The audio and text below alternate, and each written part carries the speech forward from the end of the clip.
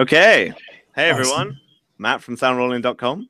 And I'm here with the man that needs no introduction, Jeff Wexler.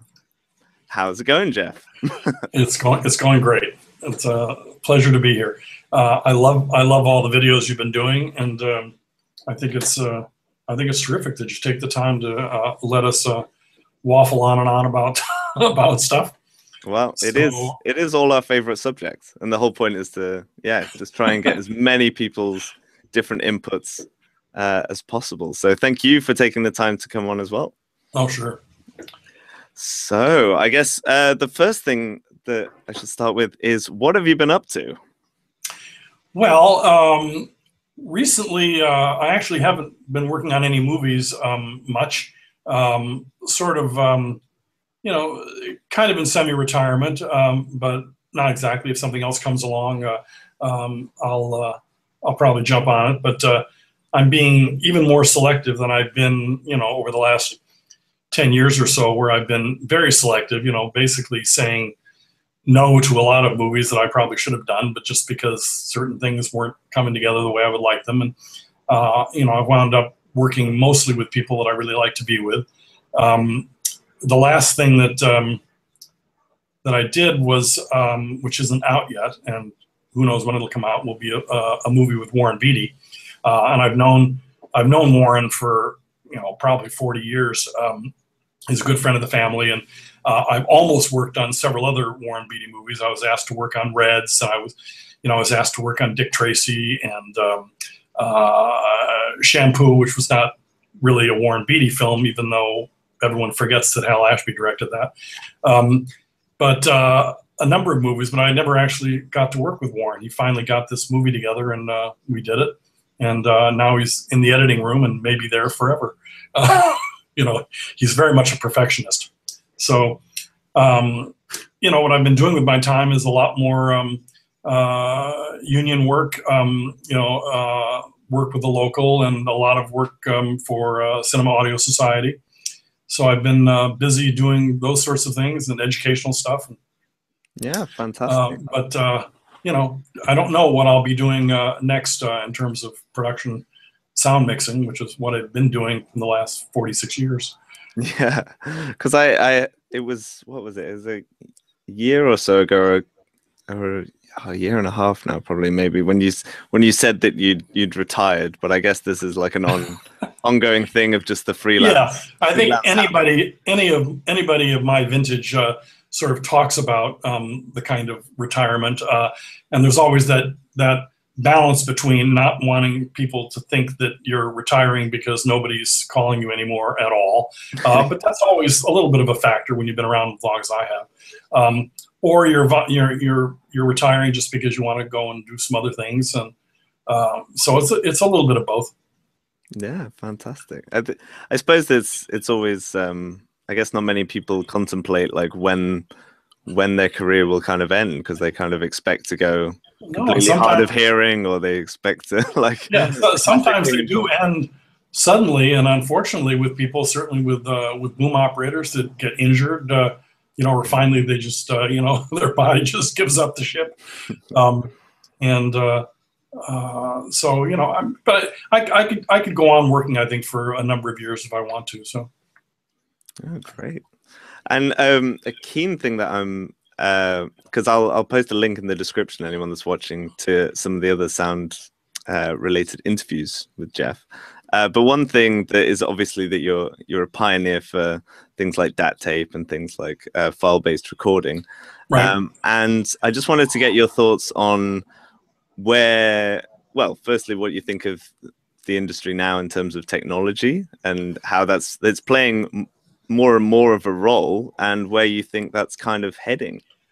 Well, the, the first thing is. Um, uh, and I'll speak about this primarily from the perspective of production sound recording, even though I'm very well versed in post. And unfortunately, when I started my career, there was um, there wasn't this huge division between production and post that there seems to be now, um, and uh, for a variety of reasons. First of all, the crews were all smaller, um, and uh, the the technology, all the technology that was used in production and in post was much simpler. Um, There was not, um, uh, you know, nobody really talked about like the learning curve. There weren't words like workflow and, uh, um, you know, even things as simple as uh, sample rate and, uh, you know, time code and, you know, all those things which, which people now, obviously, those become sort of the most important things. Um, so that uh, when I started out, um, things were much, much simpler. And as long as you could master the, uh, the equipment, which was fairly easy because you had one recorder you would be using, which was an Nagra. Um, you had one track you were dealing with because it was a mono mono recorder, um, and a selection of microphones, but not a lot of microphones. Uh, and you know, uh, the beginning of my career, there would always there was the possibility of using wireless mics, but uh, there weren't any wireless mics that worked very well. Uh, you couldn't rely on them. If you if you owned any of them, um, they would generally be on the truck uh, you'd bring them out for that one shot where you actually had to use the wireless. Um, and so, you know, we weren't concerned with things like frequency allocation and spectrum, you know, stuff uh, because we weren't using any RF gear. Um, generally, things were done with a single microphone and a single camera. Uh, and the microphone would either be on a fishpole or on a boom. And um, so the, the, the technology part of it was like really low tech, but it was also um, completely appropriate and completely up to the task of recording production sound because there wasn't any other department that all of a sudden says, well, can't we just, you know, uh, put two people in a car and drive away and have them do five pages of dialogue?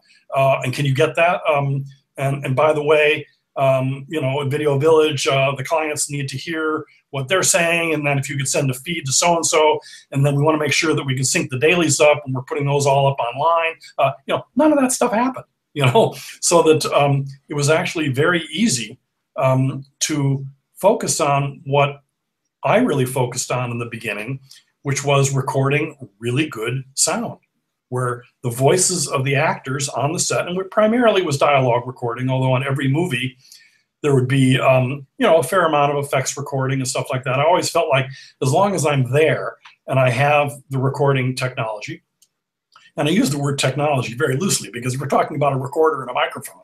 Um, uh, it would uh, anything that I can record that can be useful for someone in post when they when they go to put this all together because we're not making the whole soundtrack on the day that we're shooting. Uh, we are very much responsible for the dialogue, for the actors' performances, um, and that would be our main our main focus. And um, the technical stuff just sort of worked itself out because um, all of the departments, you know, I mean, the director of photography understood that we're going to shoot a master. Uh, the director understood that we're going to shoot a master, which sort of gives us a good idea of the blocking and all that. But the performances in the master don't really matter because uh, we'll be going in for coverage uh, where we'll do the two shot and then we'll get to your single. And um, so, uh, but all those things sort of started to go out the door when it became economically feasible and easy to shoot multiple cameras. You know, in the old days, you would never shoot more than one camera unless you were like blowing up a car or something that was only going to happen once. For any dramatic narrative, you know, you're not shooting a sporting event. Um, you know, if you were shooting a scripted uh, piece, you would it would almost always be laid out where you would shoot a master, then you would break it up and you'd move into coverage. And one of the things that the production sound mixer had to uh, had to know how to do was to be able to make sure that all those cuts would work. You know, because you may shoot you know, we may shoot the master in the morning, um, and then uh, we won't get to you know the rest of the coverage until after lunch, and then you'll be doing so and so's close up, and you may even be doing a shot that works with that scene on another day um, in another situation. So you had to make sure that all those things matched, but you wouldn't you wouldn't make sure that they matched. You would make sure that they matched perfectly the image, um, because in those days you know the old, the good old days. Um, we used to we used to sort of automatically have what's referred to now as perspective sound recording, which is the space around the voice.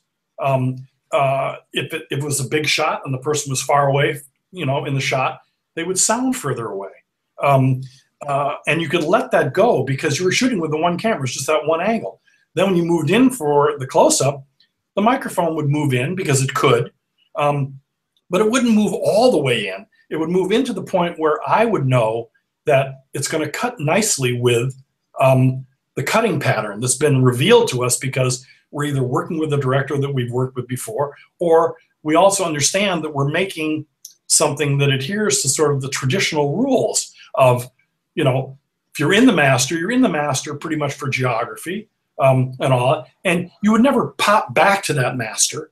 And um, so you make the sound appropriate for the uh, for the size of the shot. Um, again, something which is lost when you're shooting multiple sizes. You have multiple cameras. You have one camera that's shooting essentially a master, an all-inclusive shot. You have another camera that's getting the two shot, and then you may have a third camera that's getting this person's close-up. Well, how can you preserve any perspective? You can't make three totally separate recordings so that um, you know to try and make it like the good old days. So you end up having to put mics on people because the boom can't get into the right place for that close-up. So perspective goes out the window. The perspective is the sound of that person microphone on their body. Now, people in post have also had to deal with this. Um, they've had to make sure that the scene doesn't sound like a radio show where you have the actors sort of narrating the scene that we see them in, um, which is the way it sounds if you literally just played all of those mics, you know, close with the perspective that they have. So, and there's certainly tricks that they can do in, in post to to try and, but but none of those tricks have ever really replicated what I feel I was able to do early on in my career um, with the placement of the microphone, with the understanding of the room that we might be in, and I feel that all of those things actually helped tell the story because it's not it's not just having people understand the words that people are saying.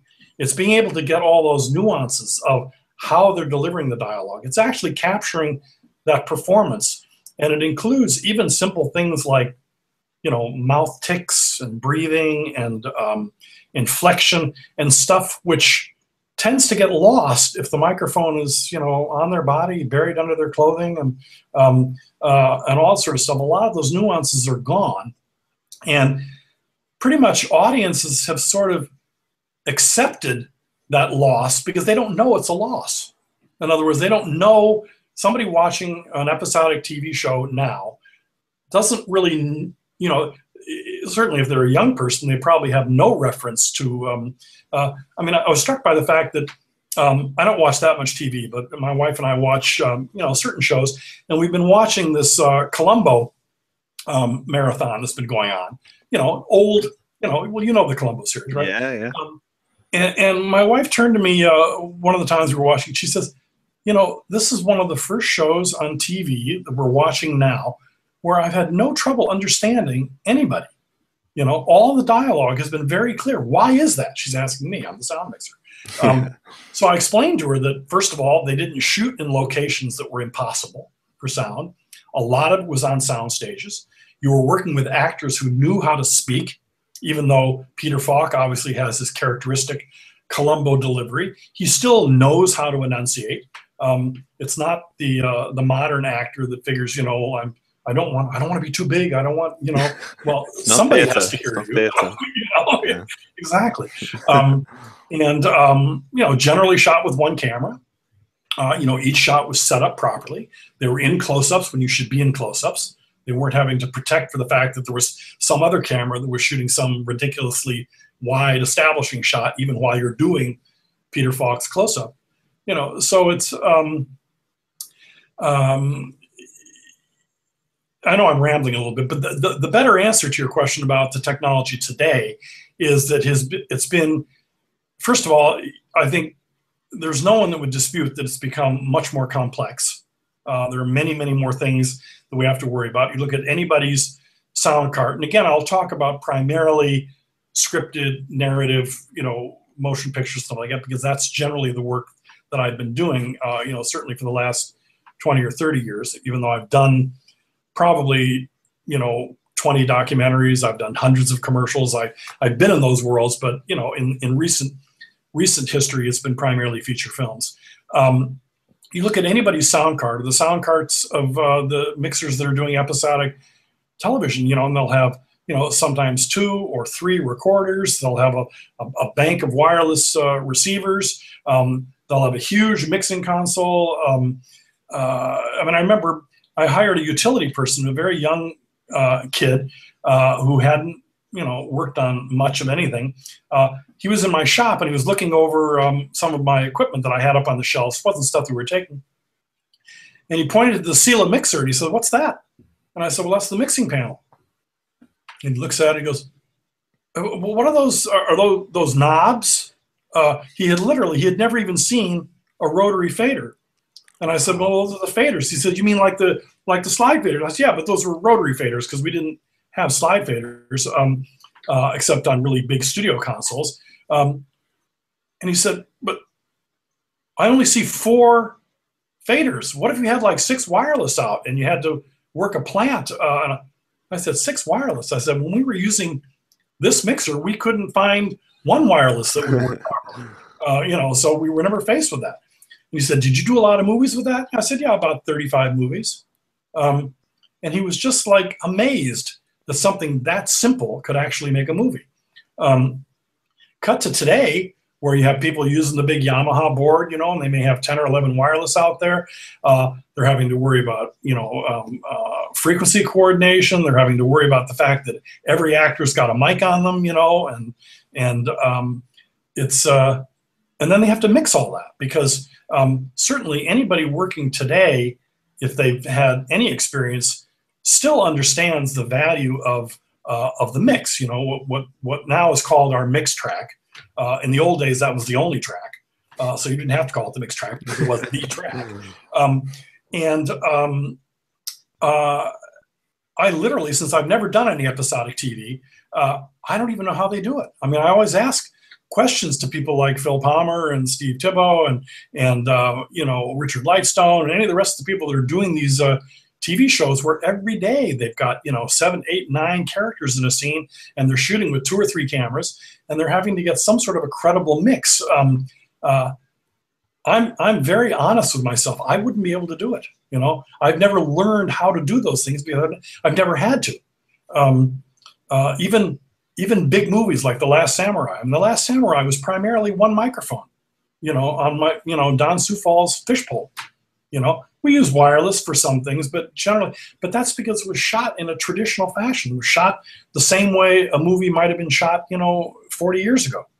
Um, and uh, you know, with a DP that didn't want to shower it with multiple cameras, with a director that didn't want to just like send the actors in and let's see what happens. Um, yeah.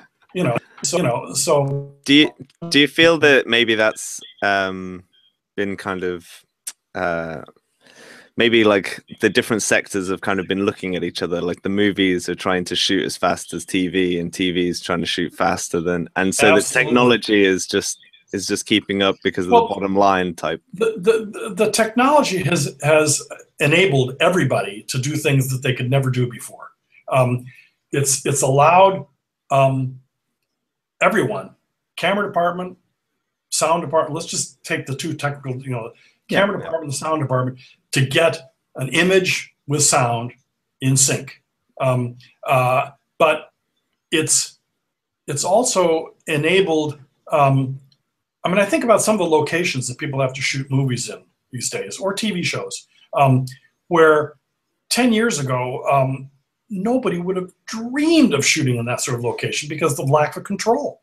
You know, you show up at a location now and they say, well we're going to try and get, you know, ITC, intermittent traffic control. We're going to try and get that air conditioner shut down. We're going to try and whatever. So all these things that are impinging on the sound on the soundtrack, and they may be successful in certain certain areas, uh, but no matter what they get turned off or not turned off or whatever they get, you will always be able to record something. You will always, you know, you'll put mics on them, and as long as the RF is working, um, and, and in the case of like the Zaxcom uh, transmitters that I'm using, even if the RF isn't working, I'm still going to get the recording because they're recording transmitters. So you will never be completely shut out of the scene. Whereas in the old days, if the only way to record that scene was to get a good microphone in there over their heads in a reasonably quiet environment, um, they they wouldn't they would never pick the location like that. So the technology enables them. Um, the other thing is because shooting multiple cameras now, certainly if you're shooting digital, um, you're not looking at raw stock costs. You're not looking at the fact that every uh, every time you roll that second camera, that's going to be more footage.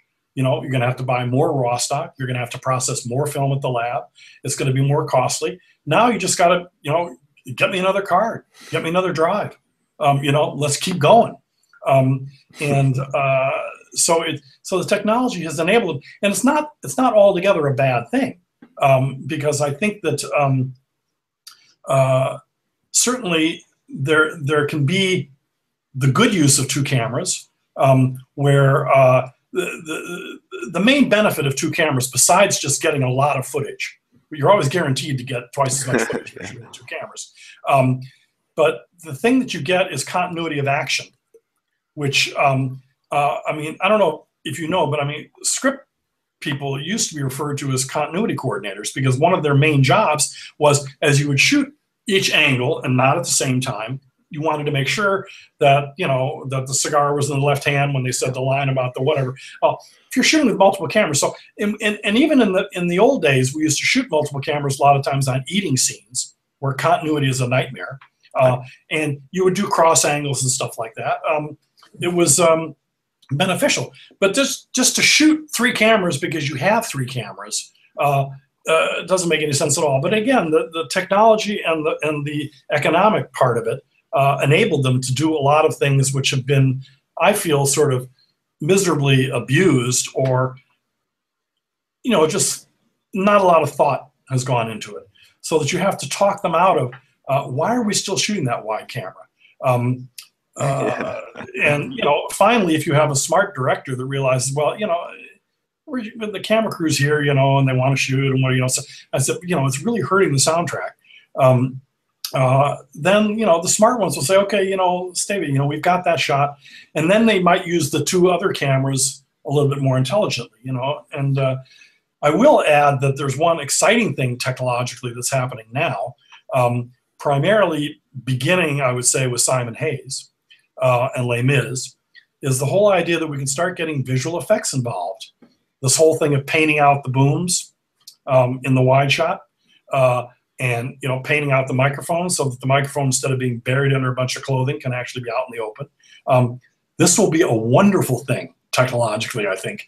Um, and again made possible because we're shooting digitally i mean to ask them to paint out a microphone when you're shooting film would be a big deal because they'd have to digitize the film then they would have to take it into the effects visual effects house they would have to do processes which were much more time consuming and much more difficult because the software was much more rudimentary on the computers. The computers weren't as fast and all sort of stuff. But now it's turning out that it's almost routine.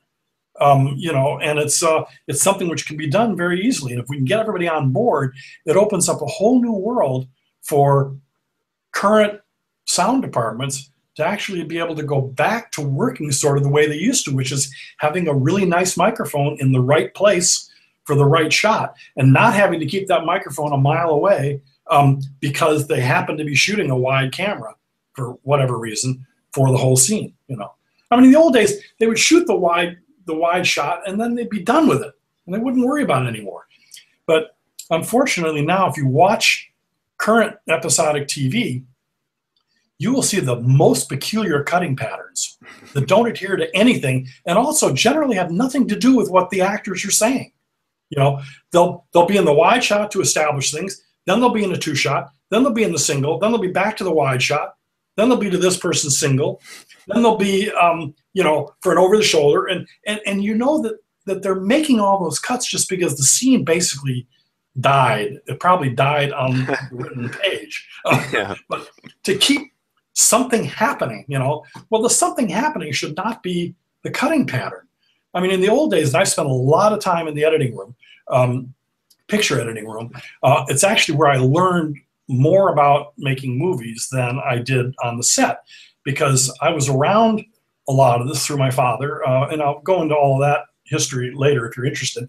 But um, uh, I would see how movies are put together, and and so when I would go to a movie, um, particularly even something I had worked on and all, and you would see that the the, the picture editing, um, you wouldn't really even be aware of it. You know, you wouldn't say, "Oh, I'm in a two shot" or "I'm in a single" or like It's just that seamlessly you would be where you want to be in the scene dramatically, and you realize that the scene may end up on a on a huge close up of somebody, and you and you're not even aware of how you got there.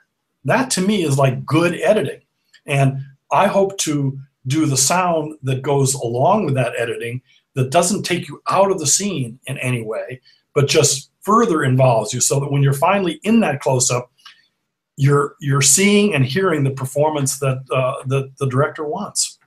It's um, it's really interesting so, how everything seems to have because of I guess the the speed of evolution in terms of just audio going digital and then everything else that knocked on from that from then everything being filmed digitally.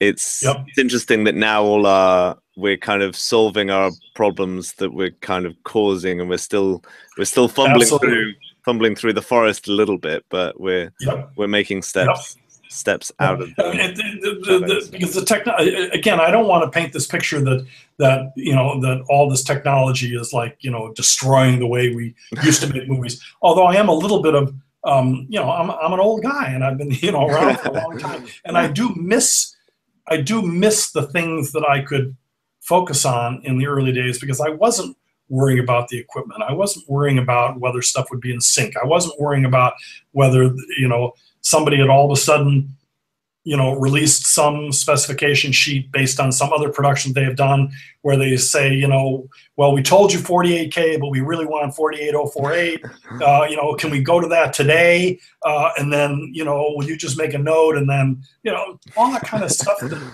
we just never had to worry about those things. Yeah the um, admin of it and then also the big one I think is that um, uh, by going with all mics on uh, on the actors, um, the rest of the the rest in the old days, the rest of the crew used to be much more involved in the recording of the sound because the gaffer knew that the microphone had to be in there. Okay, so you look at any old movies, you'll see that big shadow that goes across the back wall.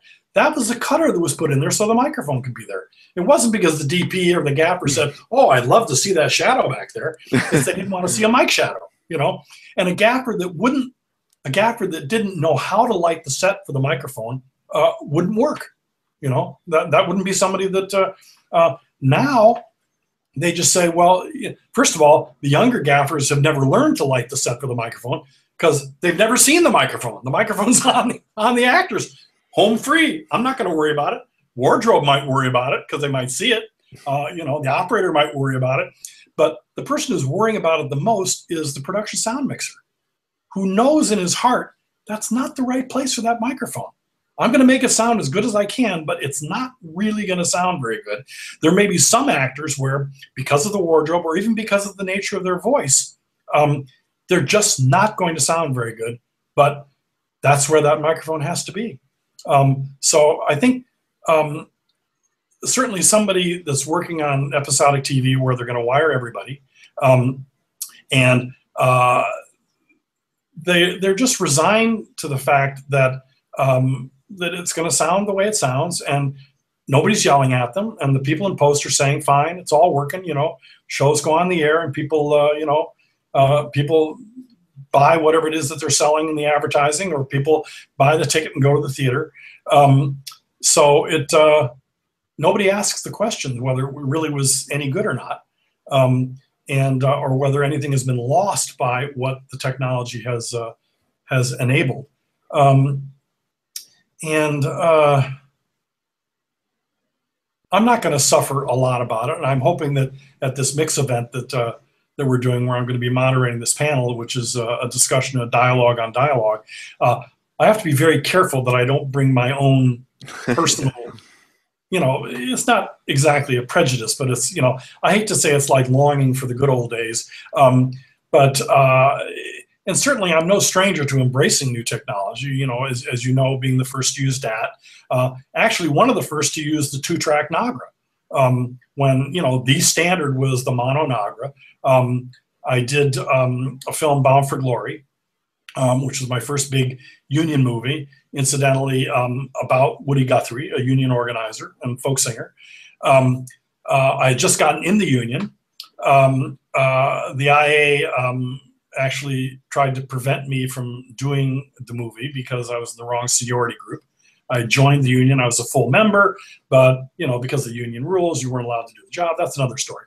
Um, but I wanted to use the two-track Nagra um, uh, because I wanted to be able to do. We were going to end up doing a lot of live music, um, which I realize now, if I had had if I had had more experience than I had when I did that movie, I had probably done 10 non-union, low-budget sort of movies. That was my first big movie. Um, I would have been very afraid because we did we did 27 live musical numbers uh, in that. It never, uh, you know, Hal Ashby, who directed that, um, decided early on we're not going to do playback. Fortunately, I'd done a couple of movies where we'd had some music playback and lip sync and all that, so I knew I sort of knew how that was done, and I kind of assumed that we were going to do a lot of playback. Uh, but Hal said, uh, "No, we're going to do this all live." And uh, since it was my first big job, I wasn't about to tell you know Hal Ashby, uh, well, you know, if we do it live, we're going to have trouble, you know, cutting things together, and we'll, so you know, and all. Because first of all, Hal, you know, that was Hal's um, uh, third movie or fourth. Like, um, he, he was he was a, a veteran and award-winning editor. Uh, he before he started directing, he he knew he could make it all work uh, if we recorded things a certain way. The, the, all the musical numbers were set up in a certain way that you know, and it and it all worked. And we did 27 musical numbers. They didn't all show up in the movie, um, but I wanted a little bit of flexibility to be able to maybe put something on the other track. Uh, you know, even though primarily it was Woody Guthrie. You know, it was one one person with a guitar, and I knew very early on that there were certain other people that said, well, you know, can you just put the guitar on that track and put the voice on the other track? And I said, you're not going to have that flexibility. The guitar is right there. I said, if I can make a recording that is that man and that guitar and it sounds great, you're not going to worry about another track or whatever like that. Um, you know, it's a myth that if you put it on its own track, uh, you know, you can solve all the problems. Well, I wasn't really even smart enough to know enough about what could be done. But we just went ahead and did it, and most of the musical numbers were a single microphone um, that was just miking um, David Carradine and his guitar. The only problem was it turned out that David Carradine was not a very good guitar player. Um, he was, um, uh, you know, so a lot of the musical numbers don't sound very good. Um, hmm. but not because they didn't sound good. It's just because they weren't very good. but it, it, still worked within the context because Woody Guthrie was not uh, was not really his main focus was not being a musician or a great guitar player. Um, so it all worked within the movie. And uh, and in any case, I got a lot of recognition as a production sound mixer uh, on that because of the number of things that we did. Um, you know, including um, "This Land Is Your Land" recorded on top of a moving box car. Um, wow. For some reason, everyone said, "How the hell did you do that?" And they thought that was amazing. And also the fact that there was no ADR for the whole movie. Um, so, um, you know, the re-recording mixer, Buzz Knudsen, who was the chief re-recording mixer at, at Todd AO, and I already knew Buzz because I sat in on a bunch of mixes uh, with my father and with Hal Ashby on movies that I didn't do because I was still trying to get in the union. But I wanted to learn about all that stuff anyway because it interested me. Um, Buzz said, you know, where where have you been all these years? And I said, I've been trying to get in the union. He says, well, fuck him. He says, you know, you're in the union now. He says, I want you to, you know, do every movie when so and so, you know, so, you know, and I learned a lot from Buzz. You know, Buzz was the person who told me that he loved the tracks. He said, just my raw tracks, dialogue track cut together. He said, it just, it just dropped into the picture edit perfectly. Um, because he said, when they get to the close up, you didn't take the microphone and jam it right down on the frame line you somehow had the sense to put that microphone where it would be best to get that voice um, in relation to the cut that came before, which was a little bit wider shot. So, so you know, I learned I learned a lot from him. I learned a tremendous amount from Frank Warner, who's a legendary sound editor. Um, you know, did on the waterfront, did you know, I mean, a lot, a lot of old movies. Um, he came out to the set on Bound for Glory, and on the weekend we did a whole series of recording of all the period cars. And he explained to me how you can record stuff that's useful for the sound editor that has to build all the backgrounds with the cars and all sorts of stuff. So I learned from some of the greatest people because I realized that my role as the production sound mixer was to gather all those pieces that are happening on the set. Um, so that everybody else that's going to work on the movie, not just the soundtrack, but they're going to work on the picture, um, so that everything that I'm doing enables them to, you know, to to make the best movie they can. So it's um, I think it's I think it's really interesting just this uh, point about where uh, the kind of disconnect in a way has has come between kind of post and production. Maybe just in terms again of that technological thing of they haven't even hired the post production person yet because there's, they're still negotiating. A lot of reasons, but there's um, a lot of reasons for it. You go ahead. No, no. Could you just talk about um, kind of uh, that disconnect? Prime, yeah, the disconnect, and then how building a relationship can uh, can foster right. better um, things. Um, well, I will say that that fortunately that disconnect uh, has not affected me as much in my career, but that's also because I've been very selective in working with a lot of the same people. Um, so they know where I'm coming from. I know where they're coming from. Uh, and I, I, have not wound up on a lot of productions where this this division or this um, uh, this separation between the production people and the post people is so vast. Um, and I think the factors that have been applied, I mean, there's a lot of factors, but one of them uh, is the budgets. Um, that it takes a very smart producer um, to be able to preside over the whole budget of the whole movie. Uh, and there are a lot of producers that are not even up to that because even when they get the job as producer, um, they're sort of, let, us say they're the line producer, um, their job is to keep the production part of it under control. You know, we can't go over schedule. We can't this. We've got to make our days. Um, you know, I know it's going to take 70 days to shoot this, but we've only got 50 from the studio. So we're going to have to schedule. We're going to have to so and so like that. Um, and and and so very concerned about all those things, starting with you know. Uh, we're not going to have the, loca- the the production sound mixer on the location scouts with us because that's an additional cost. We can save some money there. We're not going to, you know, all these sorts of things like that. And then on the day, you've got a production manager whose allegiance is just to that day. It's not really to the movie. Um, you know, you have an assistant director who's supposed to be assisting the director, but really they're assisting the production, you know, for the most part. I mean, there's some assistant directors who really do assist the director and they're really on board with the movie. Um, they're the really good assistant directors who are who really understand the value of the crew, every single crew member, even the guy that's just, you know, running cable for the for the lights. I mean, you know, the electricians, whatever, understands that everyone needs to be respected. Everyone is part of the process. But those are the rare assistant directors. I love to work with those. Um, and um, so right away, they don't want the production sound mixer speaking with the post people, you know, if the post people are already on the job, because the post people people will be saying, now make sure that you get the room tone, make sure you get this, you know, don't let them overlap, um, you know, and make sure that in the coverage um, you get this clean because we really know you're shooting in a location that's very noisy. And so. You know, they don't want me to come back, even though I am the one responsible. I'm one of the, the sound department is the only group of people, and it's usually only three of us, if we're lucky. Um, uh, that are the emissaries or responsible for the, the, the production sound.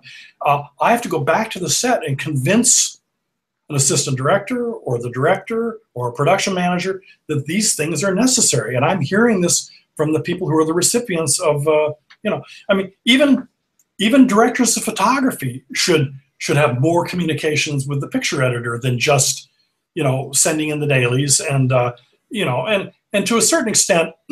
I think because it is a picture medium, directors of photography don't have this big divide between the production side and the post or editorial side.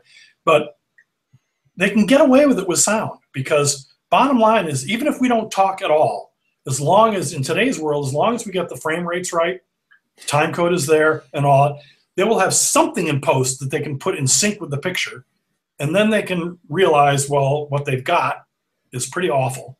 Um, but what can they do about it? You know, I mean, it's uh, Uh, it's uh, it's a different budget. The post budget is a different budget.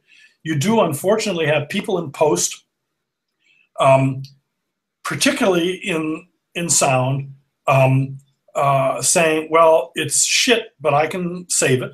And they're the last people in line to like save a movie, which may have been in trouble. It may have been in trouble from the from the the, the, the last draft of the script. Yeah. You know, or the casting, or something else, which none of us are responsible, except the director and the producer are responsible for it. Um, they now have to figure out how am I going to save my movie, and you've got creative sound designers. They're saying, well, if we build this amazing soundscape um, where when she shows up at the factory, we have all of these, you know, I can build this background, this, you know, whatever like that. Meanwhile, you've got other people in sound editorial trying to clean up the dialogue so you can understand anything that the actors are saying. Um, and then you've got the re-recording mixer that has to somehow get it all together. Uh, where you've also got your music mixer in there, and you've got your composer saying, "No, I'm going to save your movie with the score." Uh, yeah. You know, so um, all of those things. Um, uh, well, that's those are sort of things that happen after the divide, but but during production, there is this big division, starting with the fact that a lot of times the post people aren't on the job at all. So there's nobody to talk to. There's a post supervisor whose main job is just to get all the numbers right, which is not that tough to do. You know, I mean, even though they seem to change on every job because they, they try the numbers that worked on the last job uh, and they found out they had difficulty. So let's try these other numbers because those worked on some job which is you know the whole 48 uh, or 48048 thing. It's um, you know 23976. It's whether you know they're editing on a newer Avid or an older Avid, or whether they're going to do you know Final Cut. You know all these sorts of things. So there's still those those sorts of things that have to get sorted out. But that shouldn't be the only thing that people sort out in pre-production. Um, you know, there should be the things that are sort of more in line with the creative process of you know how do we want this movie to sound? And um, you know it's again in the old days and i still do it but uh, i've talked to younger sound mixers that don't even know what i'm talking about. When i get a script i do a script breakdown. Okay i was talking to a younger sound mixer who was asking about um, what do you do when you're first you know when you're first on the job and all you know what conversation you know well the first thing i do is do a script breakdown and they literally, you know, their jaw dropped and they looked at me like, "What? What's a script breakdown?" So I said, "Well, that's when you read the script is the only thing you have. yeah. um, you know, you read the script based on your experience, and you highlight those scenes that may be difficult, or certainly if you have a scene that has music." You have to discuss whether we can do it live or whether we do it to playback or what is their feeling. Or if you see a scene that takes place in what you know is going to be a very noisy environment, you want to know what what things have been done to uh, ensure that you can actually record good sound. So you do this whole breakdown, and it was a revelation to this young sound mixer that uh, that we were even given the opportunity to do a breakdown. And unfortunately, there are lots of movies where the production sound mixer may be hired and, and they don't even get to do a breakdown. And even if they do the breakdown, it doesn't do any good because the production has already decided, yeah, we're going to shoot in that location and it's horrible. You know, are you going to hear that? You know, we can't stop it, or you know, all these sorts of things. Um, but uh, it's to try and get early control over the shooting environment um, because one of the big rules of production sound recording is it's much easier to add things to a soundtrack than it is to take things away from it. Um, so that, uh, and, and this is all too clear if you watch any episodic TV show shot in the streets of uh, you know Manhattan or the streets of LA or whatever like that, that you end up having to build up every cut to the worst case of that traffic. Otherwise, the cuts will will bump. So you end up with even more background than you had um, on anything. Whereas if you can actually um, get the background in in the real world down to a manageable level, you can always add stuff. If you feel like it doesn't feel lively enough, it doesn't feel like there's enough cars, you know, whatever, so and so. You can put all that stuff in, but you can put it in in a controlled environment, you know, in, in, in an editing suite where you can control these things, not while you're out. You know, I worked on a film called The Black Marble, which was produced by Joseph Wambaugh, who um, wrote The Onion Field and The Black Marble. He was the writer. Um, uh, they made movies out of the onion field and, and black marble. Well, he was on the set every day, was not that familiar with movie making. Uh, we were doing a very quiet scene in a, um, a cemetery. Uh, and uh, it was uh, uh, Robert Foxworth and um, I've forgotten the, the actress's name. it'll come to me eventually. But, um, but the cemetery that they picked was right at a massively busy intersection we were going to be shooting at four o'clock in the afternoon because that's how it worked out in the schedule. It was going to be a real bitch, and I figured, um, you know, this was going to be a scene that would be looped unless we could get traffic control. You know, so uh, got to the location, and and um, Joseph Wambaugh put on the headphones and listened to a rehearsal, and he took the headphones off and he said, "Jeff, I, I can hardly hear the actors." this, this is this is horrible. What are you what are you going to do? And I said, don't worry, Joe. It's going to be fine. It's going to be fine. Um, and and he was like afraid to put the headphones back on. You know. finally, he left the set, shot the scene. We go to dailies the next day, and he's at dailies, and he hears the scene. It sounds great. So he said, Jeff. He says, you're a genius. What did you do? And I said, well, I told you we would stop the traffic noise. Um, and he said, well, well but, but how'd you do? I said, we stopped the traffic. Um, and uh, he said, "Well, what do you mean? I mean, like, is there a, is there a, a, a long microphone? Is there a, like a filter that?" And I said, "No, we stopped the traffic." And he said, and this is the next cop. He said, "You mean like with the police?" And I said, "Yes. We had, we ended up having traffic control at that location, and while we were shooting the dialogue, we stopped the traffic." And he just went like, "Wow, what a solution!" You know, again, he was sort of looking. He knew enough that microphones are directional and all this kind of stuff like that. He was looking for a technical solution when the only real solution that would really work is to actually physically stop that traffic. um, and uh, it's a story that I've told to a lot of people when they really they, they're hoping I can solve the problem by some sort of magic box um, because they really they can't afford to have the police they can't afford to stop traffic they can't afford to secure the location so um, you know, you do what you can do. Yeah, yeah, but, uh, definitely. Uh, but it, it would be interesting to hear about what uh, so what type of equipment uh, you're you're running, especially your your kind of boom mics, since we've we've been oh, focusing well, so much on the I, I, I, have um, I was convinced, um, actually firmly convinced, um, once and for all on the film being there, um, that the Schoeps hypercardioid is the best microphone there is in the world um, to record um, motion picture dialogue. Um, and I fell in love with the microphone. We'd been playing around with it on, on other movies, but hadn't managed to really get ourselves off the 416 and various other microphones that um, after using the Schoeps, realizing that all those other microphones that we had been using, they're fine. But what you get with those microphones, you know, like a 416 or any any of that sort of microphone, uh, is you get movie sound. It's true that it sucks the voice up. It's very directional and all that. But what we found with the Schoeps, which is a much gentler pattern, a much smoother pickup, um, we did a scene. We did five takes on a scene right in the streets of Washington D.C. Very very noisy. Um, and again, we weren't using wireless. Um, we did three takes with um, uh, with the 416, and then we did two or three takes with the Schoeps uh, you know, with the with the 41, you know, the hypercardioid. Um, next day at Dailies, I swear to God, it was like even for a novice listener, it was night and day, which was better. Um, uh, the Schoeps just shined because um, what happens with a really directional microphone um, is sure you, you suck that voice up and you're and you're if you look at the meter, you're actually getting less background but the background um, with with the really directional microphone loses its coherency. It loses its its reality. So that, for example, when a car goes by in the background with a 416,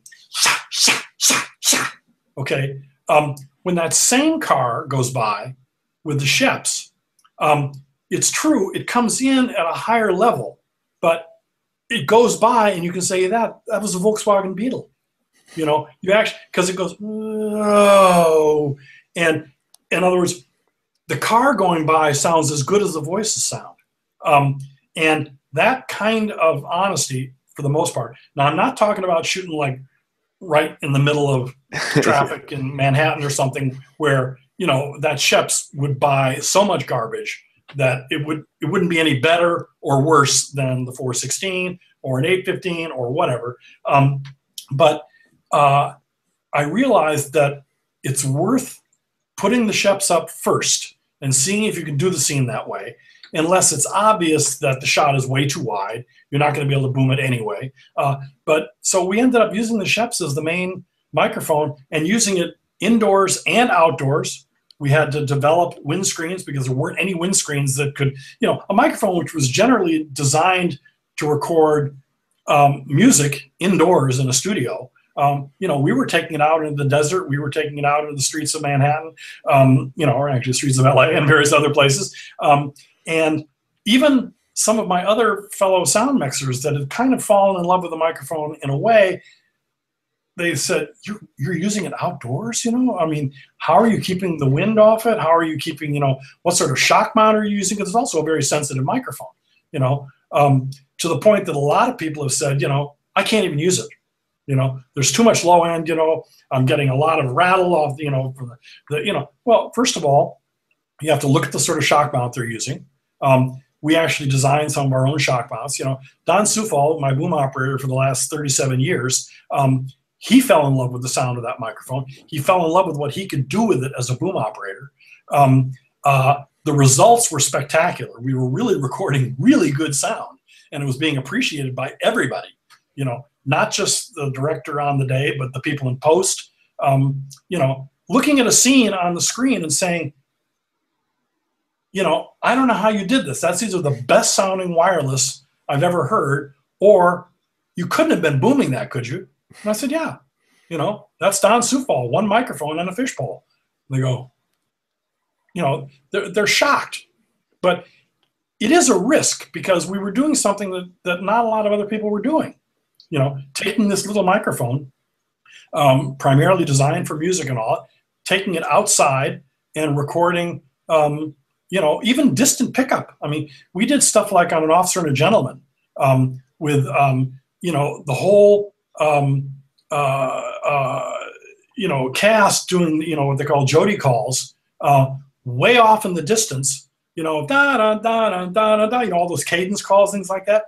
One microphone up there. They come up to camera. They get louder and louder and louder, and then they go by the camera and they get quieter and quieter and all that, you know, and in today's world, you know, we would have put mics on, you know, I wouldn't have, but somebody would have put mics on everybody and then they would have put another and they would have put a stereo pair up here, all this really, and they would get them all because we can do multi-track so easily now. Well, back then I had to decide what's going to go on that one track I've got, you know, and the only thing I had to rely on was my ears and quite a lot of experience. Um, and it worked out great. You know, I mean, the stuff sounded great. And, um, I would never, even with all the technology we have today, I wouldn't have done it. I probably would have done it differently because now that we can do, I mean, that's the beauty of multi-track is that when I started um, using, um, uh, I mean, even when I when I started using DAT, where I had two tracks, um, uh, I never I never used the stereo Nagra as the main recorder. Uh, I went from a mono Nagra to a two-track DAT machine. Uh, I didn't do anything with the second track. I mean, the only thing I would ever do with the second track was occasionally if there was some effects or something that were interesting that I wanted to record sort of minus dialogue, um, I'd put a mic out there for something on the track. Um, or if uh, maybe doing off-camera dialogue, you know, I put that on, on the second track. But I wasn't really mixing. I was still mixing to the one track the way I had always done it. Um, then when the Deva came along, the original Deva, which was a four-track machine, I had, you know, three more tracks to think about. Um, I started to understand the value of multi-track, um, which is I can still mix to my heart's content to the one track, but all the elements that go into that mix can go on their own track so that somebody else can go back and mix it differently if maybe I haven't been brilliant on that day. You know, it does happen. You know, I, I don't do, you know, we, we don't do every scene so that it sounds perfect. Um, and uh, I think my my mix is pretty damn good. Uh, but you know, the fact that we could give people in post the elements that went into my mix um, so that they can make adjustments um, uh, was was a great thing. And then you know we went on to um, uh, the next Deva. There was an eight track, you know, and a ten track, and then there was a sixteen track Deva. Um, I still um, I still wasn't utilizing all those tracks because I didn't really even have all those sources. I mean, I would do a scene primarily with the one boom mic, uh, maybe the boom mic and a plant mic. Maybe I would do the scene with some wireless that played in the beginning of a scene because they're far away, but then it would get onto the boom. Well, I would I would end up putting those wireless. I would continue to put them on their ISO, um, but you know, in talking to the people in post, they, they, they never went they never went into them because the mix track, however I was accomplishing it, whether the moment they were listening to the mix track, it was only the boom mic, uh, it sounded exactly the way it should sound, so uh, they didn't have to do anything. Well, now there's one trend that I hope is not becoming a big trend um, that I'm hearing about these days, which is I've had a lot of younger mixers ask me, um, are you really still mixing anything? I mean, I hear about this mix track. Uh, I'm really just turning in all the ISOs because I'm hearing from post that they don't even listen to the mix track. Okay. So this raised a red flag that just, so I started talking to people and I realized again, it's not, it's not the majority of people in post. Um, uh, but you know, they still value the mix track. There's still a whole lot of reasons why we need to mix even if you're doing a complicated scene with 12 wireless and all, you still have to learn how to mix that uh, as best you can because it's that mix that's going to ride along with the with the picture edit. You know, it's that mix that's going to be heard at dailies if anybody even goes to dailies anymore. Um, uh, everyone on the day needs to hear something. You know, you can't ask them to mix all those ISOs to their Comtek. Uh, you know, somebody's got to do that. At least, at the very least, a monitor mix so they can hear the scene you know, because none of them are on the set. They're all back in Video Village, you know, shrouded in canopies and looking at monitors and all. You know, if they don't hear everybody, um, you know, so your your mix has to be something better than just everybody at Unity gain so they hear everything. um, uh, so, but this trend where there are people in post saying, "We don't listen to your mix," the underlying sentiment is we've listened to the mix and it's horrible. Right. It, yeah, it yeah. Doesn't, it doesn't do us any good. Well, I understand entirely why it's horrible. Um, because if you've got 12 wireless out there and you're doing a scene that maybe wasn't even rehearsed and the director has given the actors the freedom to do whatever they want. There isn't anything like, well, somebody's off camera, so you know, let's not overlap until we get to your coverage. Because who knows, that person at any minute may be on camera, somebody's camera of the Yeah. three or four cameras that they're shooting. exactly. Um, because you're shooting your all-inclusive shot and all of your coverage all at once. Um, uh, the chance, no matter how good you are as a mixer, the chance of getting a mix that really works for even one or two of those cameras, forget perspective. I mean, you know, Yeah. forget that. That's out the window. You've got no perspective anyway because they all have mics on them. Um, so, uh, what are you going to mix? You know, so you end up really with like a slop track, which has gotten the name. Well, that's just the mix track, uh, and I can understand why people in post are not are not listening to it, but they're faced with the task of going into all the ISOs and getting the first ever mix because the mix that you did on the set doesn't work and isn't useful for anybody except maybe for the picture editor to start getting their work done. And the people in post are having to do all of this on an incredibly shortened delivery schedule where they've got, you know, two days to mix an entire episode uh, or something.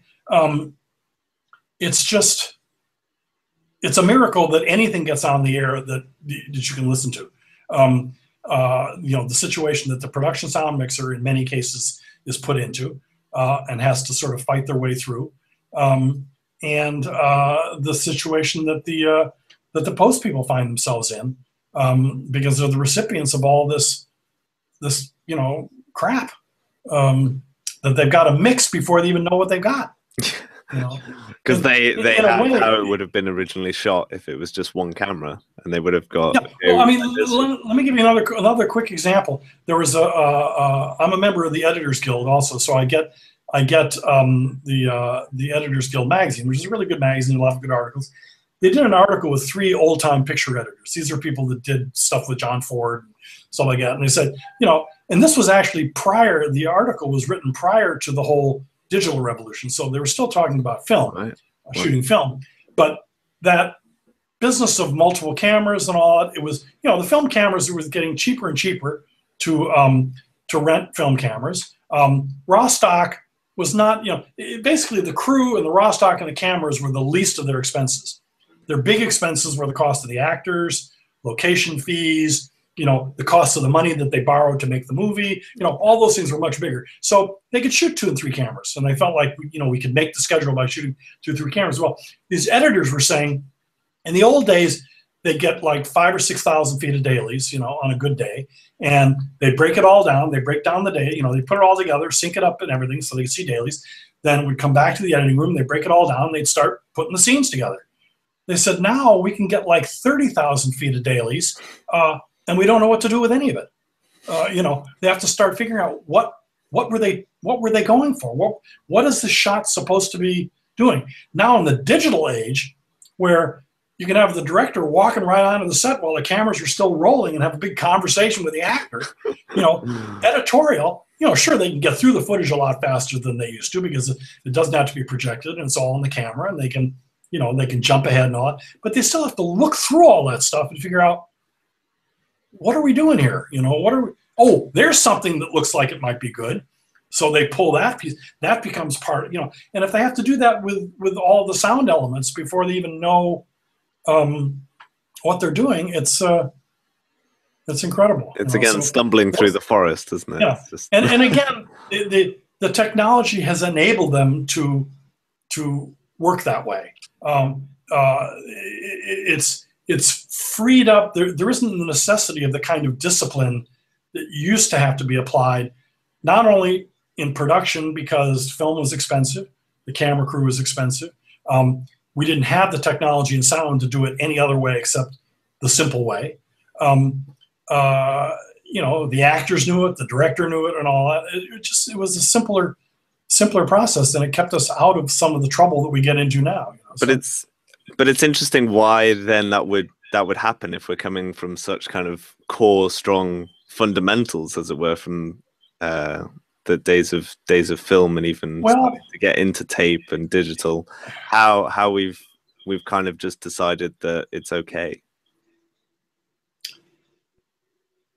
i have to say that i think it's basically capitalism i think um, i think that whatever they produce, if people are still buying it, uh, it's it's okay. Why change?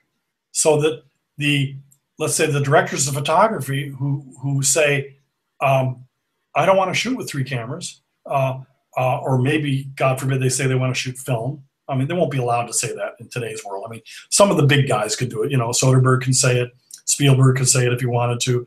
Um, Christopher Nolan can say it if he wants to. Um, but if you let's say you're doing an episodic TV show, you know, there's no, no way a director of photography can say that for my art, um, I would like to shoot with a film camera, and I would like to, you know, and my, you know, the director is telling me he wants to shoot the master, and then we want to do the cover.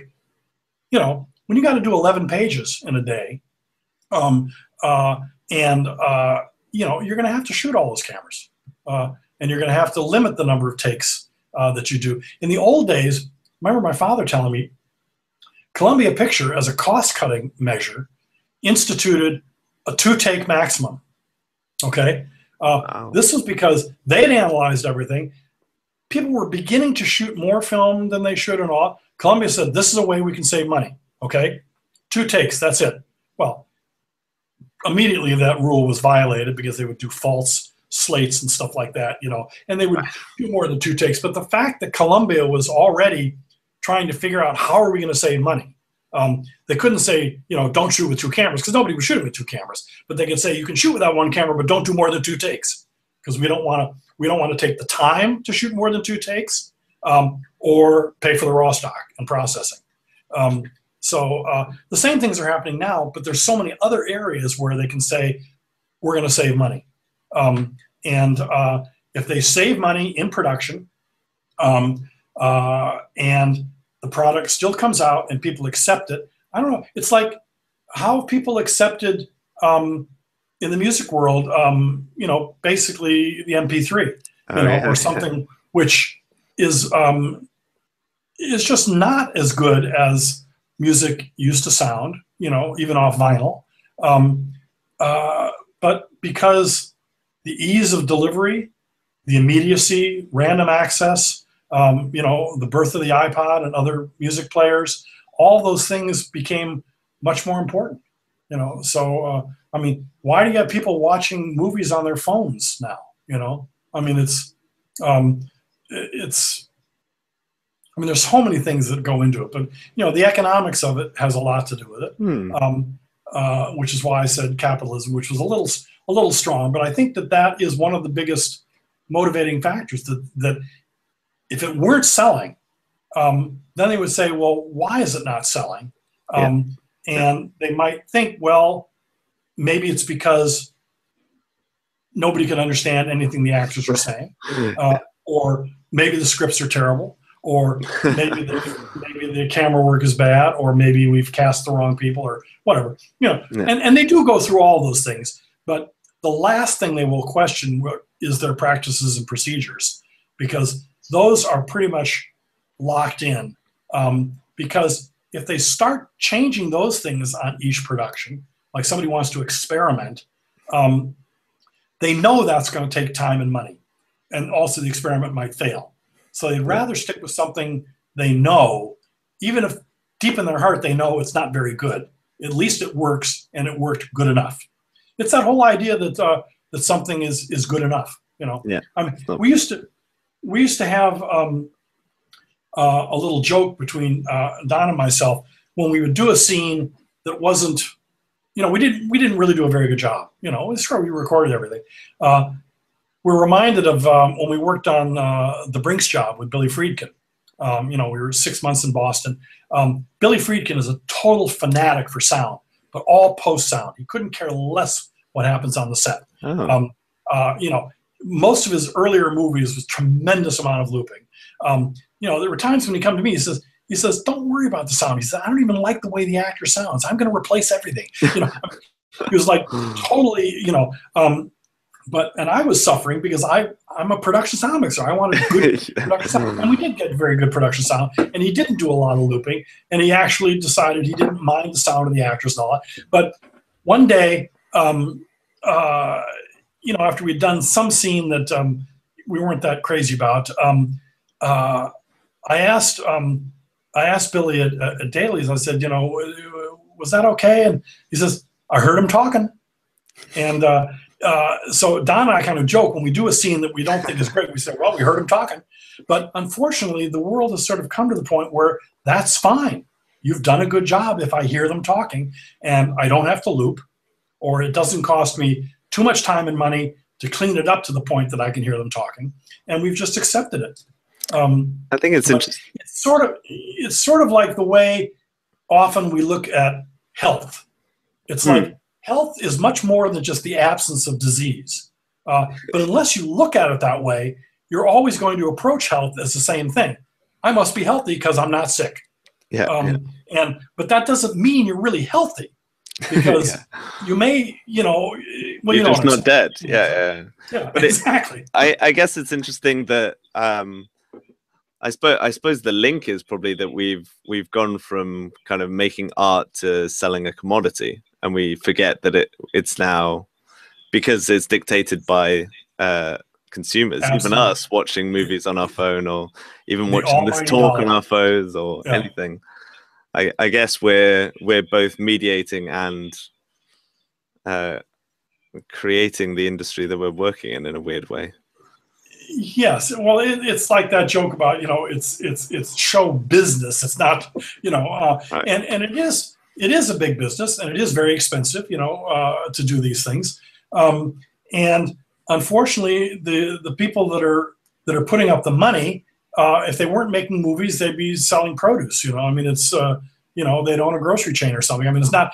It, it, it's it's when when the big conglomerates um, and the big mega corporations started buying the media companies and buying the studios um, uh, and stuff like that. Um, they, um, you know, like Gulf and Western, you know, uh, that owned Paramount. Um, Paramount Pictures, the whole studio was only a little tiny part of their business. You know, they're basically an oil company. You know, and uh, um, so uh, you know they hope that the movie business does well and all, but it's not. It's not in their hearts the way when the studio, when you know, when MGM was Metro Goldwyn Mayer and it was owned, you know, I mean not owned, but it was headed up by a real studio head who, you know, their whole life was movies, you know, and they were involved in in in you know the the the whole um, studio, uh, you know, cast players and you know and the actors training and the camera departments, you know, the studio camera departments and all these things. That was their business. They didn't have all these other businesses.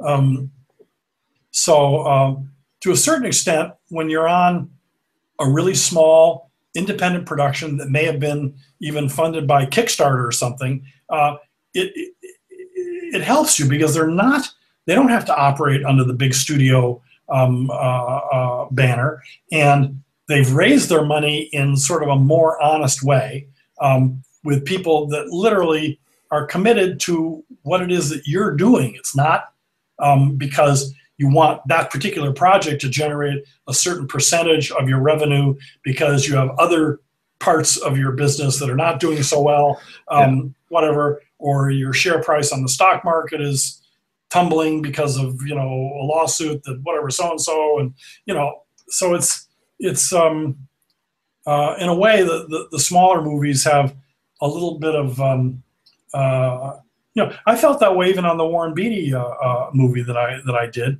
because uh, Warren was the star, the producer, um, the director. Um, uh, he was the writer.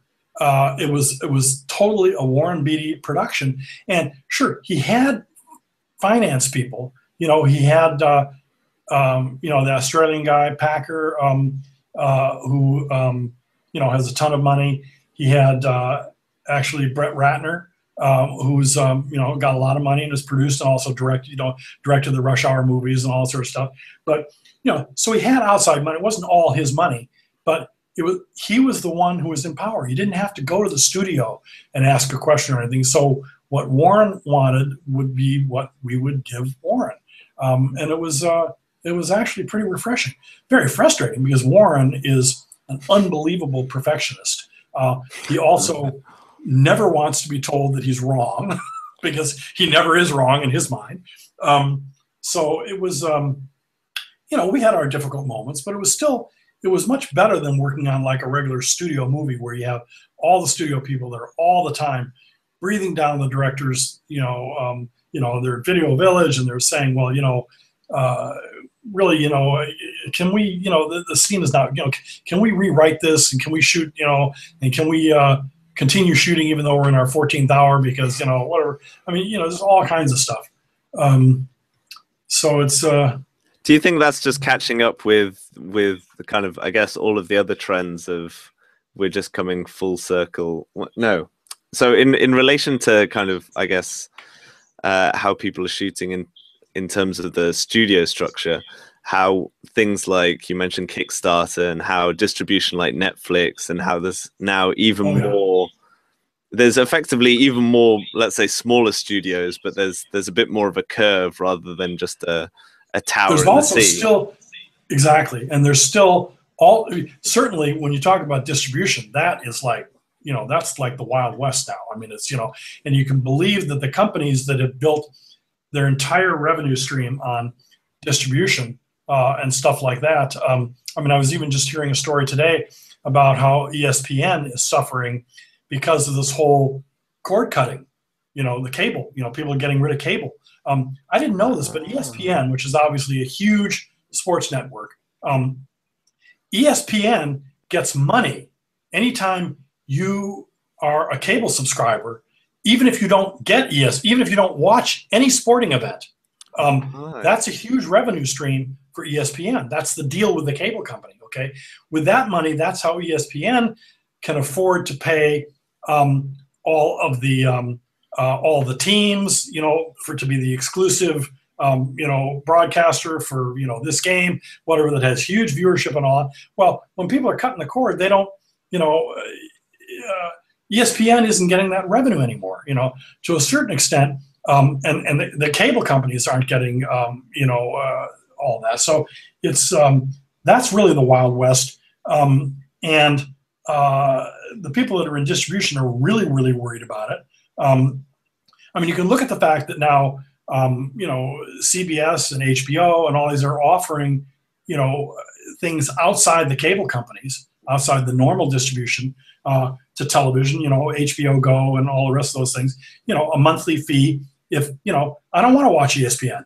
Uh, you know, all I want to watch is HBO. Fine, pay them nine dollars a month or whatever it is, um, and you get HBO. You don't have to pay DirecTV or Time Warner or whatever like that to get HBO. Um, so um, all of those factors are happening. The other thing that's happening is there's tremendous hunger still for content. You know, yeah. so that um, so that production is ramped up. You know, now you have original Netflix programming. Obviously, you've got Amazon programming. Um, you know, I don't know who else is getting in on it now, but um, so that's kind of removed the traditional studios. Um, uh, you know, uh, a show like House of Cards would normally have been done by Warner Brothers or Paramount or somebody else like that. It's being done by Netflix, you know. So um, and uh, and they're doing very well with it.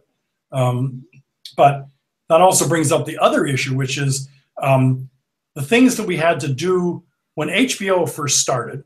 Um, certainly, there was union contracts. You know, the unions wanted to have uh, contracts with HBO because they knew that HBO was going to be producing stuff. Uh, we wanted to make sure that it would be union members working on it. So we cut these deals with HBO um, where the rates rates of pay for crew people were considerably lower than they were in any other uh, any other place. And but theoretically, it's like to help HBO get on their feet. Okay, well HBO now is a huge, huge network. You know, bigger than most of the traditional networks. Um, they've made billions and billions of dollars and we still have relatively rotten contracts. Um, uh, you know, the union still has relatively rotten contracts because we haven't had the strength to negotiate anything better. Um, you know, I mean, I think recently there have been some better, but you know, I got the big shocker when I did 61, which was you know the uh, Roger Maris, um, um, you know, the baseball story with Billy Crystal. Uh, that was the first thing I had done for HBO, and uh, we all signed on. My father shot it you know, and was thrilled to be working with me and working with Billy Crystal. I worked on it because I had done, you know, seven movies with Billy. Um, so of course, I didn't even question what I was going to get paid. You know, then I got into making the deal with HBO, and it was like half my hourly rate that I was making on the movie I'd done right before. You know, and we were still going to, we still wanted to make a great movie. You know, it was an HBO movie. It really isn't any different than making a regular theatrical, you know, for the theaters except that it was half the pay. Um, wow. I still did it, and I'm glad I did it. It's the only thing for TV I've ever done. I got I was nominated for an Emmy. Uh, you know, so I think I'm doing all right. I didn't win, but I think I'm doing all right. The only TV I've ever done, you know, uh, I got nominated for an Emmy, uh, and we did a really good job on it. It was a really good movie, and we all just sucked it up and said, you know, fine, we're working with Billy, um, and uh, we did a great job. And you know, the fact that I was paid you know, thirty-five dollars an hour instead of you know sixty some dollars an hour. Um, it was uh, it was okay, you know. But uh, uh, and I guess you know, episodic TV they have all this weird thing about you know first season, you know, yeah, of a yeah. TV show you have to work under the contract of the last season of the whatever, you know. And it's the hardest work, you know, and you're going to be there for 14 hours. Um, you know, it's it's crazy. So we got a little off track, but no, no, no. I think it's all it's all kind of adding into the same thing. It's just making me realize that it's because I, I, was kind of thinking about it in terms of relation of earlier on because we were talking about kind of value and it's dictated by the consumer, but now there's more kind of distribution methods that now more independent people. We're kind of we're clawing we're clawing back a little bit and it's just interesting just to generally talk about the state of the industry because again it's still Absolutely. it's still relatively it's still relatively new in the in the great span of of everything i guess um and it's just interesting to kind of see see where things are going and and i guess try and predict where where the ball's gonna hit next. I think, I think for me, um, since I am so involved in a lot of educational things, and you know, I do have JW Sound, which I think you know is a pretty popular um, forum discussion The- group, and yeah you the- know, um, I, I feel a, a real responsibility to try and keep as much of the sort of creative and the art of listening in our craft, and I just see a lot of it going away for all the reasons, for a lot of the reasons that we've just discussed. Um, but it might be might be one of those things where we just have to realize it is a new world, uh, and um, the audiences are accepting what it is, um, and uh, just try and express that creativity in other areas, and not try and put the brakes on um, a lot of the sort of technological things that have happened. Um, but I still think we have to put the brakes on certain things like the long hours and all, Yeah. which again relates in a very twisted way to the economics of everything. But I think it's deeper than just the economics because it's even been demonstrated that financially, rather than working a 14 hour day, a 14 hour day, a 14 hour day, add two days to the schedule, um, it'll cost the same. And you won't be working those hours, but they still can't. I mean, fortunately, I think the whole 12 on 12 off movement is getting a little bit of traction. I'm really very much um, uh, feeling good about a number of productions that I've been hearing about that actually have been doing 12 on and 12 off, even on TV shows and stuff like that. Maybe they've had one or two long days, but it's not every show that is in this mode of working 14 hour days, 14 hour days, 14 hour days, and then the Friday where you work all Friday night into Saturday and have no weekend and you're back at work at six in the morning on Monday. Um, there was just a posting on JW Sound from uh, from Robert Sharman, uh, who has recently moved back to the UK, yeah Um, yeah and uh, he was saying that um, that uh, in England they still on the productions that he was on they still vote whether to go into overtime or not. Is that really true, or is that because that used to be the case in the UK um, that uh, you'd get in your tenth, eleventh, maybe maybe your twelfth hour, uh, or maybe like the eleventh hour, and because of the location or because of you gotten behind or whatever like that, they would actually ask the crew, um, "Can we go into uh, and and do uh, an hour of overtime or whatever?" Does that really is that still happening? Um, Uh, I mean, I I can't speak for the level of of production that he's on, but even for the yeah, even for the kind of mid tier, low budget stuff that I do, it's yeah, it's still people go around and you do get kind of asked like, yeah, we Right. we're gonna. But I imagine a lot of people do agree to it because first of all they like the money, they like the money. So because that's part of the problem here also is that people people got used to all that overtime, even though it's killing them. In Yeah. some cases, actually killing them um, because they're making more money. You know, I've I've always explained that one of the things, one of the reasons why the long hours started to happen, is in the old days, but not the not the ancient days, but in the old days, um, we would make you know the people that were like top of the top of the heap, you know, the the really uh, experienced, um, uh, you know, really good sound mixers and other crew people. Um, they would go in and they would make uh, a- a money deal called the 12 hour guarantee, which meant that you would be guaranteed 12 hours of pay. But the day wasn't 12 hours. The day was still 10, 9, maybe 11 on a bad day, uh, and all. Right. But because they wanted, they didn't want, they didn't want the studio to know that they were making an overscale deal. You would Right. make a 12 hour guarantee at scale, which they were required to pay you scale because that was the union rate. But they knew to get Jeff Wexler, to get, you know, somebody else on the job, they were going to have to do something to fill out that deal. So rather than like, you know, money under the table, because that was also done, you know, or bonuses and things like that, they were reluctant to do any of that with like regular below the line crew people. But they were very happy to make the 12 hour guarantee. But after a number of us were making this 12 hour guarantee, somebody in production would say, you know, we're paying these people 12 hours. yeah. We better start working 12 hours. You know, I think it's great that you got Jeff Wexler to do your sound, and I realize that you wouldn't have got him if you said, you know, here's the deal. You're going to be working at scale. You know, it's going to be the usual 10 hour day. Uh, you're not going to make any money.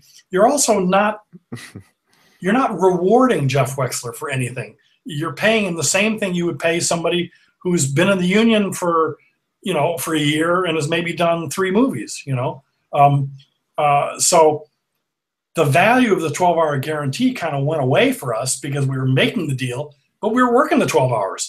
So, yeah. you know, of course they had to guarantee us 12 hours because we were working them. Uh, and then they started working 13 hours and 14 hours. And then various other things in the contract went away. Uh, meal penalties, um, you know, were cut down. Um, you know, they started instituting, you know, the grace period and extensions. They did away with night premium, which meant that when you went past a certain hour, you went into overtime. Even if, you know, if you started past, this is the way it was in New York. If you started at eight o'clock at night, you were in double time when you started. Okay. Right, so right. think about the number of movies that wanted to shoot exterior night in New York. They just wouldn't do it. You know, they would go out and maybe they would schedule one day, let's say on a Friday, because also if you went past midnight, um, you're going to like double whatever your prevailing rate was. So what they would do for night shooting in New York is they bring everybody in as soon as it was dark. Okay, uh, you may even have rehearsed the scene. They may have pre-lit the street. Done bring them in as soon as this, as soon as it's dark. Okay, shoot the shit out of it, um, and then get out of there and wrap before midnight uh, on a Friday.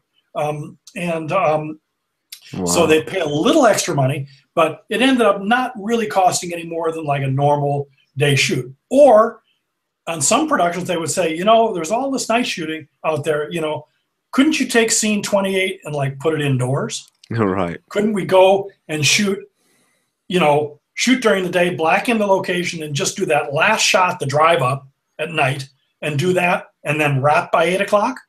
um, uh, you know, or whatever. So there were all those economic disincentives um, to keep the hours short. Well, a lot of those just went away, and it really wasn't costing them that much more. Um, but in terms of the crew enjoying the overtime, it was more money to the crew. And so, you know, that boat that they wanted to buy or that house that they wanted to buy or whatever, they figured, Jesus, you know, I'm on this job and we're working the short hours, but it's killing me. You know, I mean, I've even heard people say that, and I said, well, you know, you can be working the long hours and it could be killing you, you know, killing you slowly. So, um, you know, the thing with the long hours is that it really, it really is a safety, safety and health issue, uh, and the, the, the producers should not be allowed to work the long hours, uh, and it should be viewed as the same thing as not working in uh, a condemned building where there's asbestos uh, or anything else like that. But it's just the problem to, and again, it's a problem of our culture and capitalism that if you're paying people, it can't be wrong. In other words, um, if you're There's paying people for their work, yeah, um, yeah, it's um, you've agreed to it. Um, it's uh, uh, it, it just it, it, has to be okay. You know, if you did what evidently Walmart has been accused of doing, which is locking the doors and keeping people there and not paying them overtime, um, I mean, that, you know, that's got to stop, obviously. But working people longer hours um, than they should when you do have some people on the crew who've sort of gotten used to it and they really don't want to get on those shows that's working the short hours, um, they shouldn't be allowed to work those hours. And the people that have been counting on that overtime are going to have to either get in some other business or um, you know supplement their income with something else, or try and embrace the fact that they may live a little longer. Uh, they'll have more time with their family if their family is even still around, because you know family may have already left town because uh, they never see you. Um, you know, I mean, the number of divorces and the number of uh, you know, there was a, there was this cartoon that actually related to somebody that was always watching sports. Um, uh, you know, sort of like round the clock. Um, this guy sitting in front of his TV and all that, and the kid kid walks up and he looks over. He says, oh, you must be little Jimmy. you know, it's like his kid. He's never even seen his kid, and all of a sudden his kid is like five years old. Um, well, you know, it happens in the movie business with location work and all that sort of stuff. Um, and again, unfortunately, culturally and socially, there are crew people that have made use of this. There are crew people that have like parallel lives. You know, they're they they love going away on location, and they got the girlfriend on location, and whatever they're sending the checks back home, and uh, you know, it, it's just mm. it's a mess. Uh, yeah, yeah. So rock and um, roll. yeah, exactly. Yeah, on the road. Yeah. So, um, I mean, I was fortunate that I did a lot of location work, uh, but I also um, uh, managed to spend a lot of times with my kids and a, a lot of time um, you know, they'd come and visit, and I was going to interesting places. I remember, uh, you know, my daughter uh, visited me uh, working at uh, working at uh, the Acropolis in uh, in Greece. Wow. Um, you know, on a movie, and um, she was she was still in diapers. I think it. I think she was two years old, um, maybe a little older. Um, a bunch of Greek school kids, um, you know, a little older than she was, came up and and they were sort of talking to each other and all that kind of stuff like that. And one of the one of the Greek school kids um, who spoke perfect English, incidentally, uh, asked my daughter why she was still wearing diapers. You know, and my daughter that day said said to her mother, um, you know, let's you know, uh, in, in, so many words, I want to get rid of the diapers. You know, I want to be I want to be potty trained and all that. And uh, so you know, it was a great experience because she also got to visit me working on the set and. Um, uh, learned about movies, and it pretty much echoed my upbringing because I spent a lot of time on the set very, very young. Um, part of the reason I think I've even been successful in the business is just that I, I had that whole, um, you know, I just I knew how to make movies, you know, just from watching it, watching it being done, um, and uh, so I'm forever thankful for all that stuff that I learned from my father. Uh, you know, not just about life in general, but about movies specifically. And it's, uh, you know, became my career. So, um, do you do anything anything else outside? Because I I find myself often getting into the trap of when you're doing so many different types of projects and you're hanging around with people. It's it's always it's the shop shop element of things. Talking yeah, I shop. Don't, um, the only thing I've done that different uh, that's outside of that, but it's not outside. It was like my website is JW Sound. Yeah, but that's yeah. you know that's a website, but all we talk, you know, it's all yeah. shop talk. Um, and then the various educational things that I've done. Uh, I have done a lot of guest lectures. Um, I have taught um, uh, classes at USC and at UCLA. I'm going to be teaching a class um, at Art Center. Um, and but again, what I'm going to be talking about is movies and sharing my sharing my experiences. So it's um, it's not really doing something different, but it's true that that that doing production work and uh, and also being away on location and all, it's such it's like summer camp. It's such a tight knit group, and a lot of times you're having to survive a lot of stuff that's not so great. Um, you know, so it's kind of like wartime in a way. Um, I remember my father told me early on. He said, working on movies is a lot like the military and it's a lot like summer camp. what you want to try and do is maximize the summer camp aspect, um, which you know That's he was able to do beautifully in his career because you know the crew becomes like your family. Um, you know because you get very close with people um, because you're you're you have a common purpose um, and um, to the extent that I know my, my father when um, you know he wasn't working as much certainly as he did for most of his career because uh, things had slowed down and he was older. He's still he's 93 years old and he's actually still working. He's not shooting big movies, but he's still out wow. shooting documentaries and doing stuff. Um, but the work slowed down a lot, and he found that he was really left to his own devices to figure out what am I going to do every day. And there's a certain amount of freedom and liberation in having that call sheet um, that says this is where you're going to be at seven o'clock in the morning, and this is what you're going to have to do. Um, and when you get into that mode, um, when you're off work, it's not it's not even just that. Well, you know, God, I'm off that job. You know, thank God I don't have to go into that you know work every morning or every night or whatever the hell it was. Um, you're also left with all this freedom. um, and uh, if you don't have, if you're not like the typical uh, person that, well, you know, uh, I'm off the job and now great, I can take that vacation or I can go fishing or whatever like that. You're sometimes left with, well, what, what do I do now? And I'm in that mode of, um, well, first of all, you can sleep in um, in the morning, um, which I found I can't even do. I get up at five o'clock every morning. Doesn't matter, you know. and I haven't been working now for the last year uh, or whatever because of taking this sort of semi-retirement. Um, I still get up at five in the morning because that's typically the time that I would have to get up to get to work, um, you know, on most jobs. Uh, so it just became, um, you know, but I also can go to bed earlier and I'm not stuck on the set in the 14th hour, uh, having to worry about how am I going to get home from Long Beach, um, you know, or whatever, or how, you know, uh, having to pile into a van and go back to the hotel room uh, and try and get to sleep. Um, you know, after I've had, you know, 10 cups of coffee. Uh, so I'm not having to do all that stuff. Um, but uh, uh, it would be good. I, mean, I know other people in the business that that are very good uh, crew members and they've done a lot of big things, but they do have a lot of other interests and things that they do when they're not working, and, and I uh, I envy that, but I've never been able to uh, to make it happen for myself. No, I'm I'm just asking because I'm I'm in exactly the same boat, and that's why we're doing exactly pretty much the same. Yeah, it's quite. So, um, but hey, you love it, so it's okay. and I've thought about doing other other things in the industry. Uh-huh. Um, yeah. But um, yeah, and I do know I do know some sound mixers that have directed. Um, right.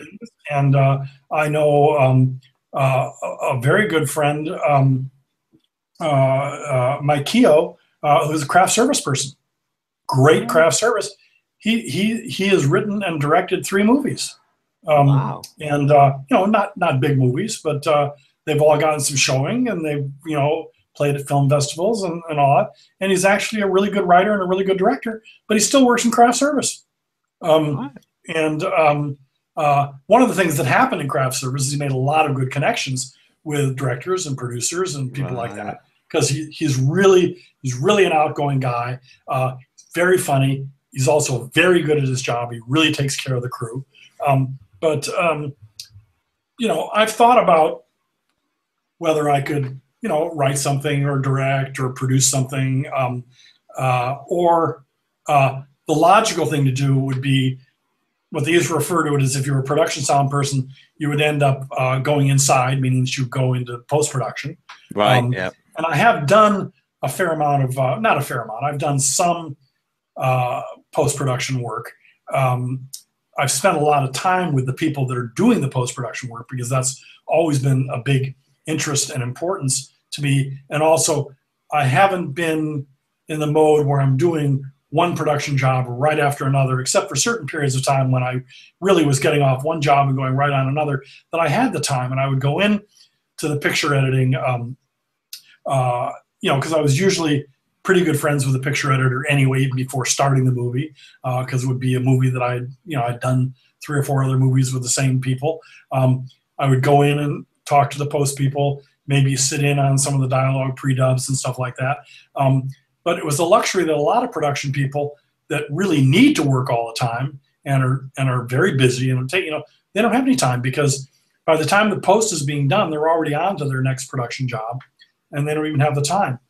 But uh, and I've never, I've never wanted to to enter that world uh, and just declare that I'm a re-recording mixer because I would have to start out obviously at a much lower level because I'm coming from being a production sound mixer. I couldn't just like waltz in and say, okay, I'm perfectly uh, I'm perfectly equipped to uh, sit in front of this, you know, 160 input board and uh, you know and mix you know 120 tracks of uh, uh, whatever for some big movie because uh, you know I'm, I could I could end up if I wanted to doing post work on some smaller projects, but I also think that that's not where my you know I could learn it, but I would have to start learning a lot of stuff that that I don't know. Um, I would still be able to use the best tool I have, which is my listening. Um, And um, uh, and I think you know the times that I have worked in post, I've actually had some judgment calls and done some things that even the veteran uh, I mean, being there is the one movie that I actually got to do the production sound and follow it all the way through post. Right. Um, okay.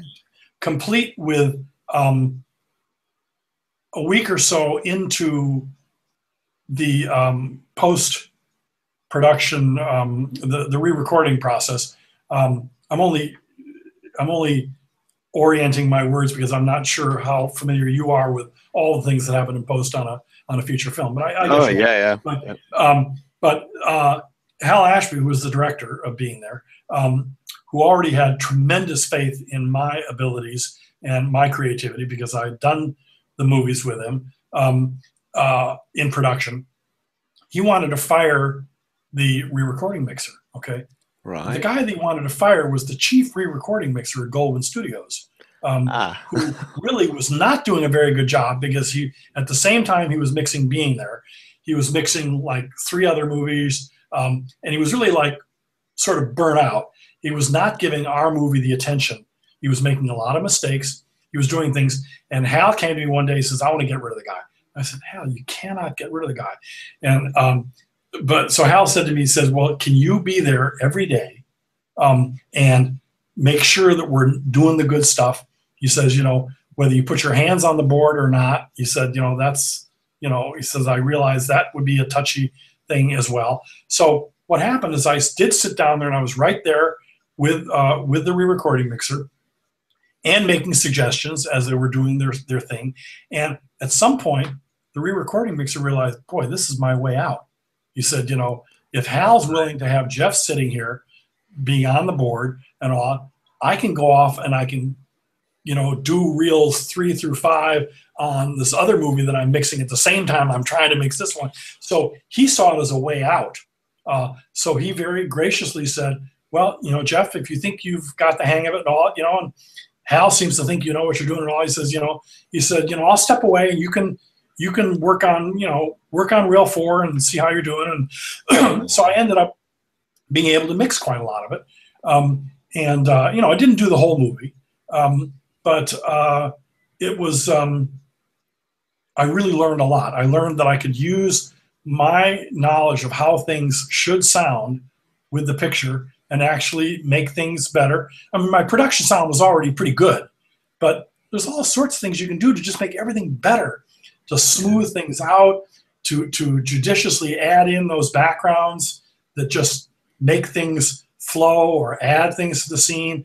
You know, I discovered a lot of the ways in which you can get rid of those things that are offending in the background. I remember making multiple passes um, where we were trying to get out some crickets, you know, something which now is pretty much done by sound editorial and it's done in Pro Tools, you know, or using iZotope or something like that. Uh, a lot of that cleanup was actually done during dialogue pre-dubs by the re-recording mixer, um, you know, by the dialogue mixer. They weren't done in the editing room. So um, I learned about at that time it was when the uh, Dolby product, the Cat 42, uh, was coming in, which was basically a selective frequency ducker.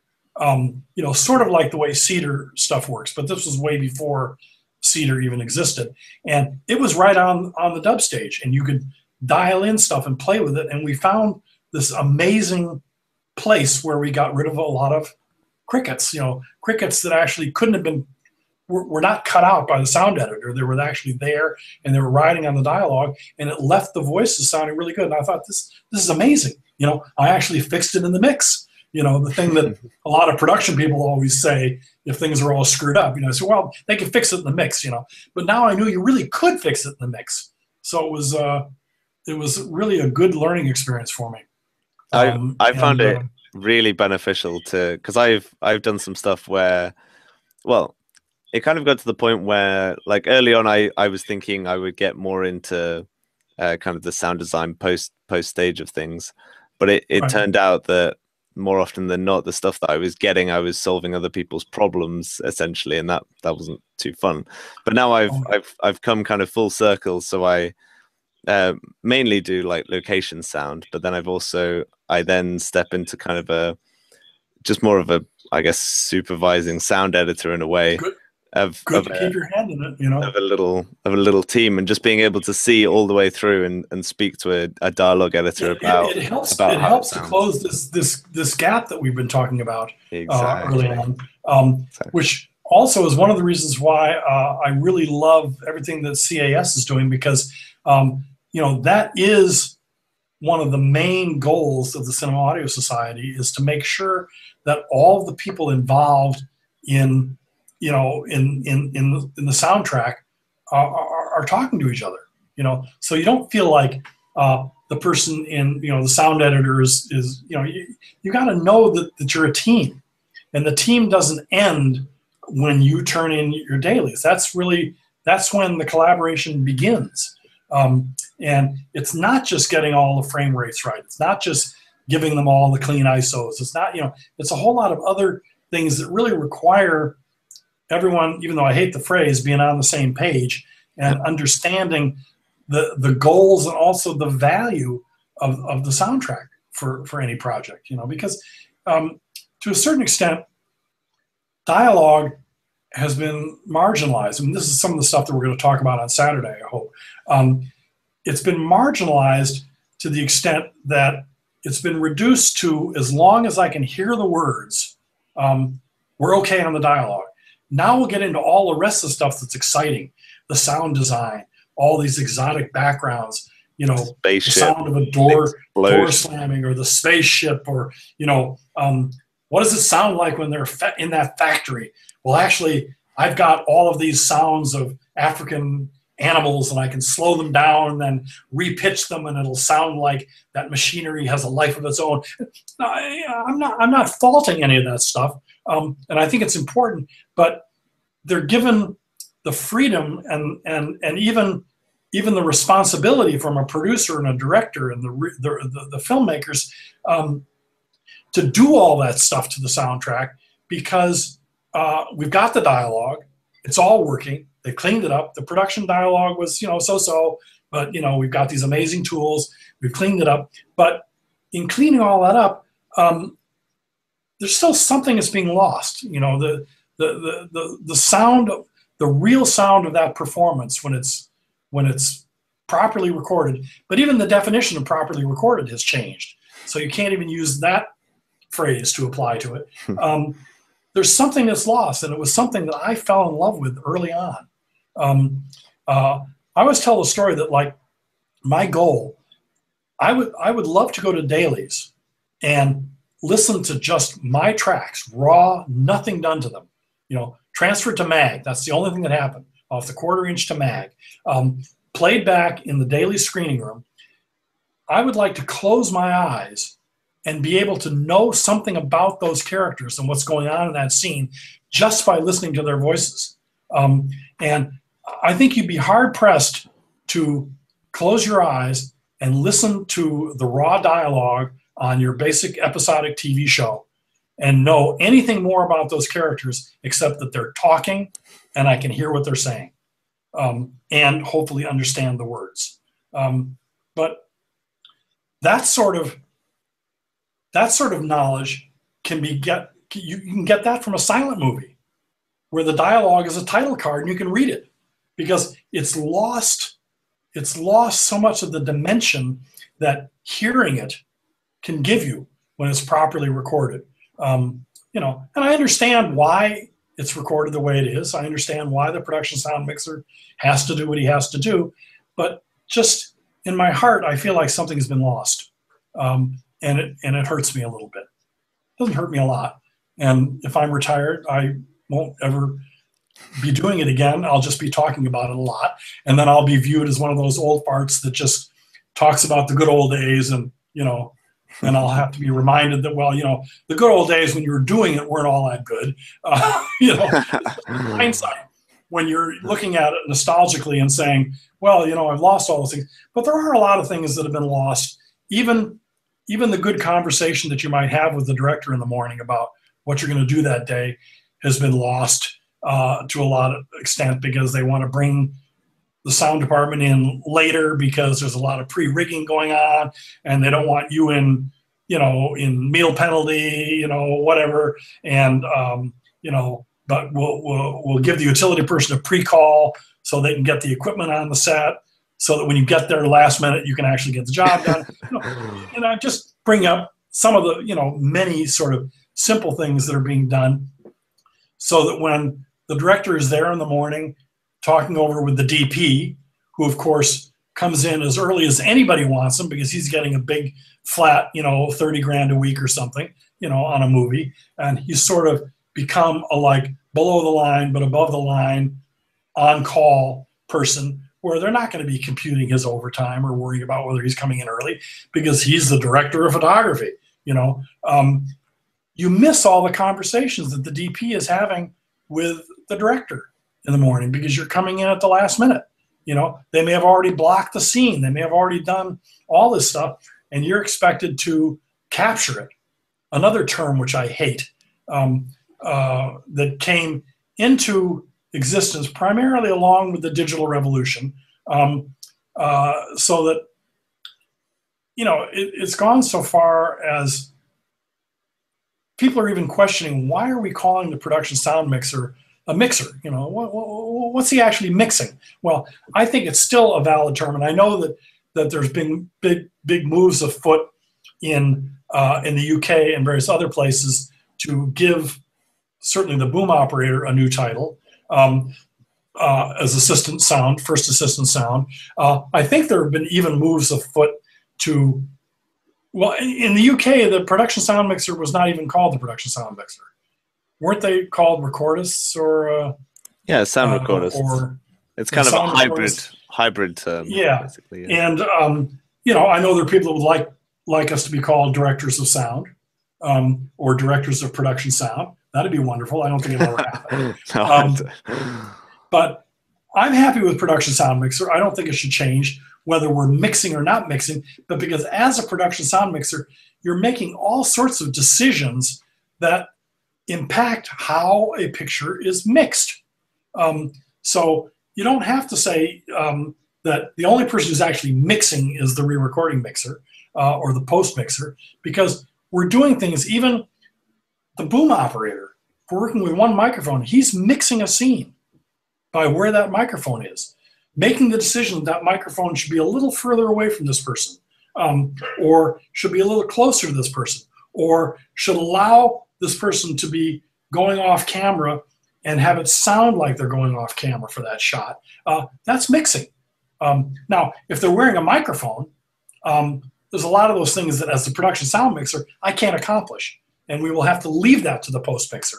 But, you know, we shouldn't have to be forced to leave everything to the post mixers for all the reasons we've already discussed. And I would also be very unhappy if too many of those things were taken away from me. I mean, I was very pleased with um, uh, Steve Tibbo, who's going to be on our panel on Saturday. Um, he accepted uh, his, I think it's either his third or fourth Emmy for uh, the show Modern Family. Um, and uh, he he was the one who was allowed to speak at the Emmys, even though there's like nine people on stage, um, and the Emmy show was like you know six hours long. Um, yeah. He thanked the producers for allowing him to have seven boom operators wow. on the episode that was nominated and won. Because uh, evidently, I don't, I don't watch Modern Family, uh, I have to admit, but evidently it was a very, very complicated um, episode. Uh, and Steve Tibbo said, I need seven boom operators. Wow. Uh, production agreed to it because he is not only the sound mixer and a department head, he's well respected uh, amongst production. And when he said, I need seven boom operators, similar to what, you know, what Simon Hayes says, you know, I need, I need two fully qualified boom operators. You know, otherwise I will not be able to do the work that I've you know recently become very famous for. Yeah. Um, and and they respect him, and so they should.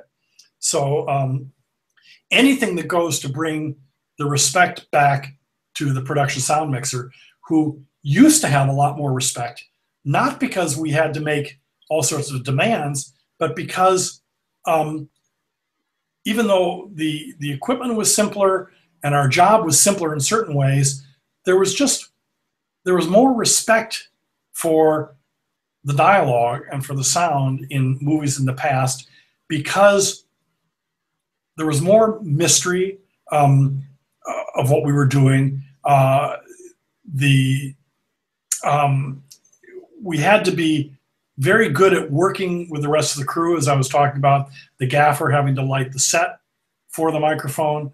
Um, uh, I'm trying to think of the other reasons why we had more respect. I think it's basically just because um, all crew people had more respect in the old days. Yeah, yeah. Because we weren't viewed as just like a, a, a necessary commodity to the production of their product. Um, because the people that were making the movies were movie makers. You know, they were filmmakers. It's not a job. Um, yeah, it's a lifestyle. Yeah. And you didn't have somebody producing a movie who maybe had never even produced a movie before, but they knew that they were responsible for the $60 million that was going to be spent on it. And they're asking somebody quietly the question, what does a boom operator do?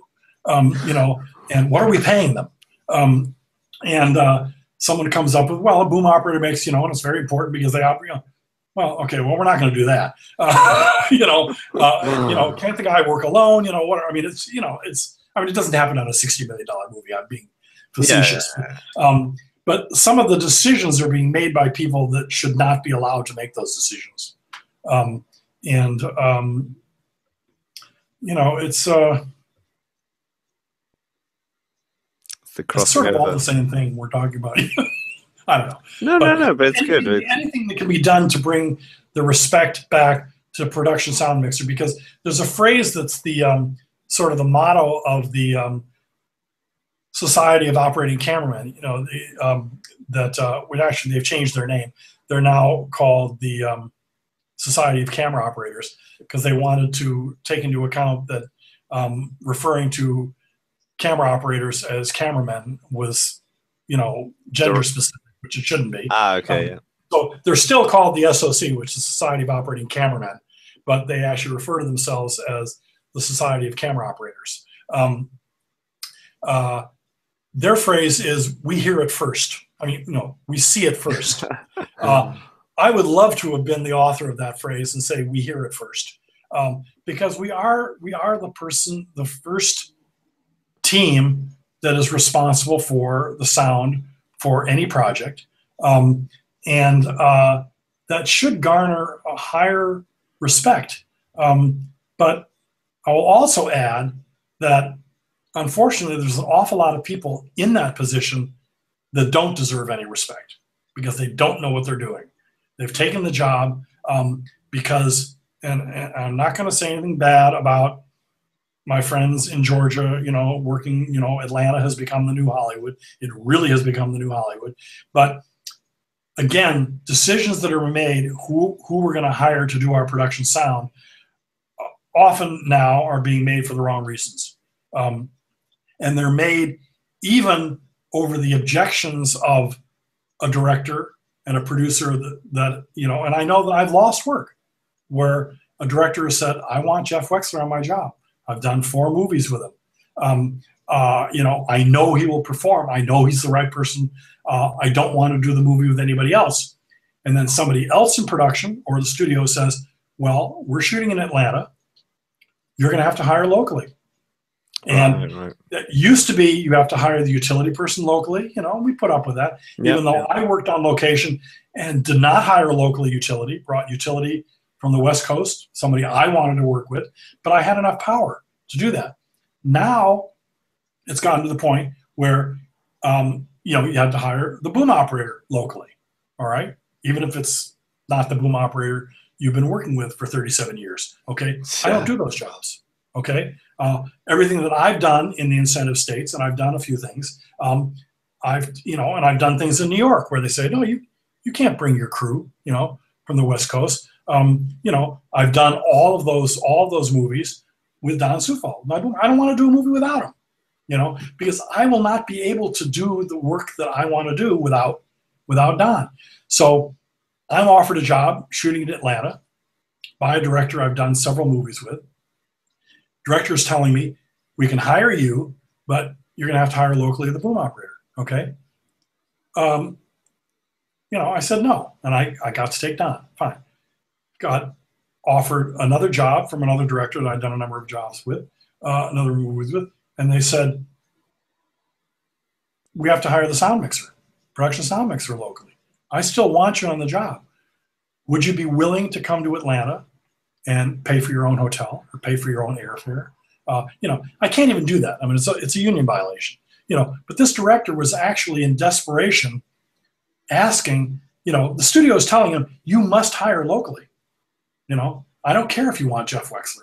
Um, and uh, you know, so I couldn't do the job, um, and um, that sort of broke the flow.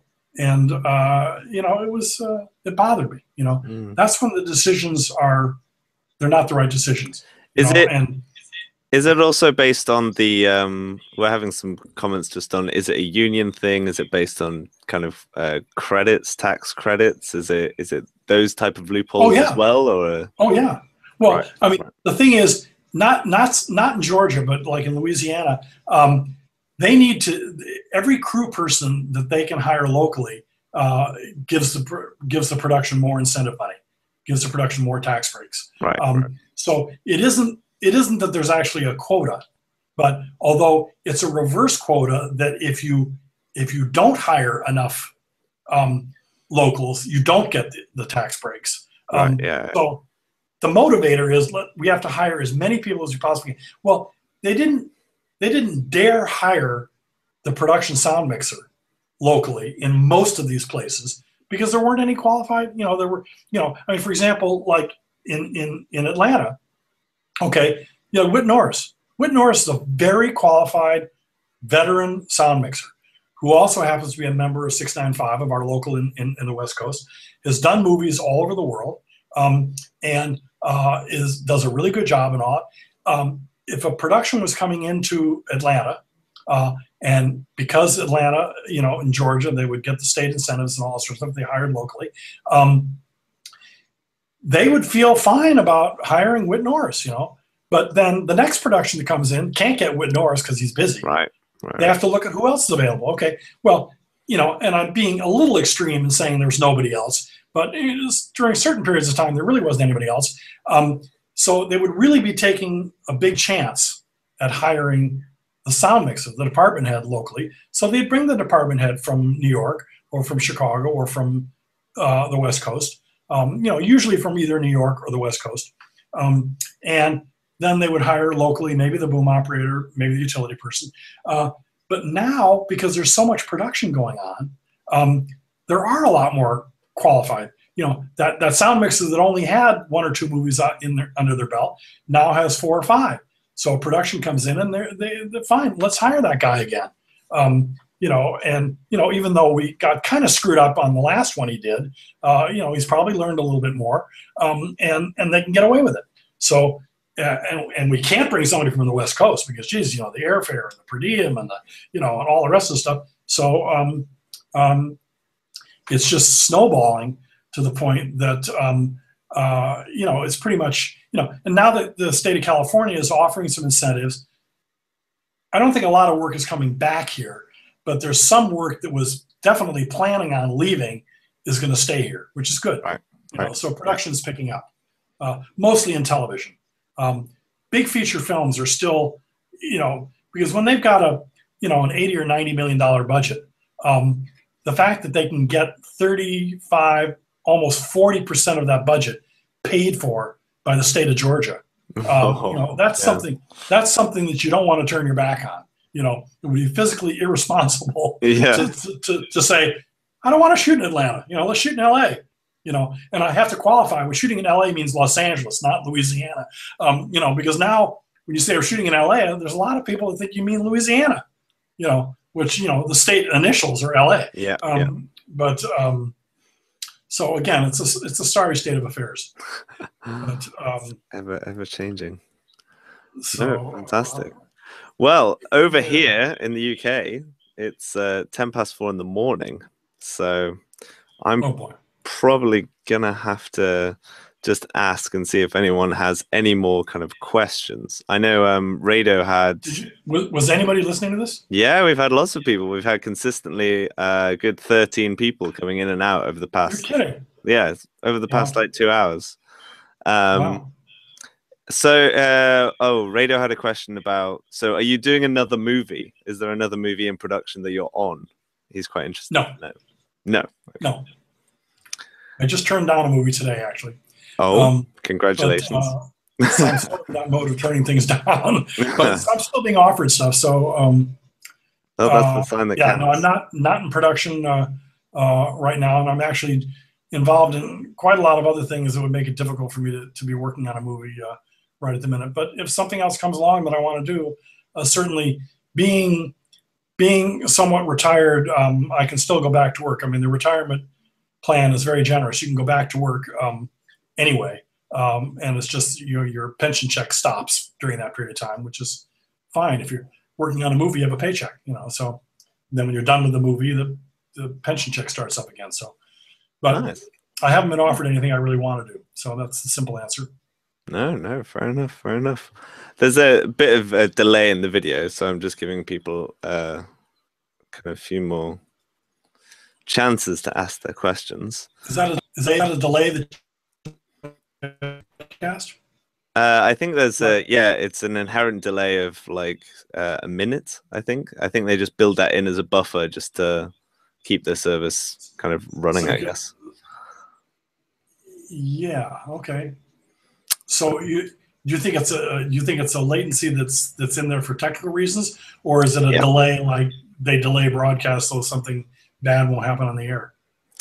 Uh, no, there's no kind of like censorship or anything, so we can Okay. sw- swear and do whatever. Yeah, But We but say there's whatever we um, yeah, but it's just they. I think but they whatever we say it will be a little late. Yeah, Yeah, Okay. exactly. Yeah. So suddenly get all the rahs and ha-has. But uh I no, I think that's pretty much all the questions. Again, we uh Yeah, I want you to, get, to be able to get some sleep. You know, so it's uh, um, Yeah. it's uh, um, you know, I don't think you have to worry about it unless there's anything else that somebody really needs to know this minute. But no, apparently not. Everyone else is just uh, saying thanks.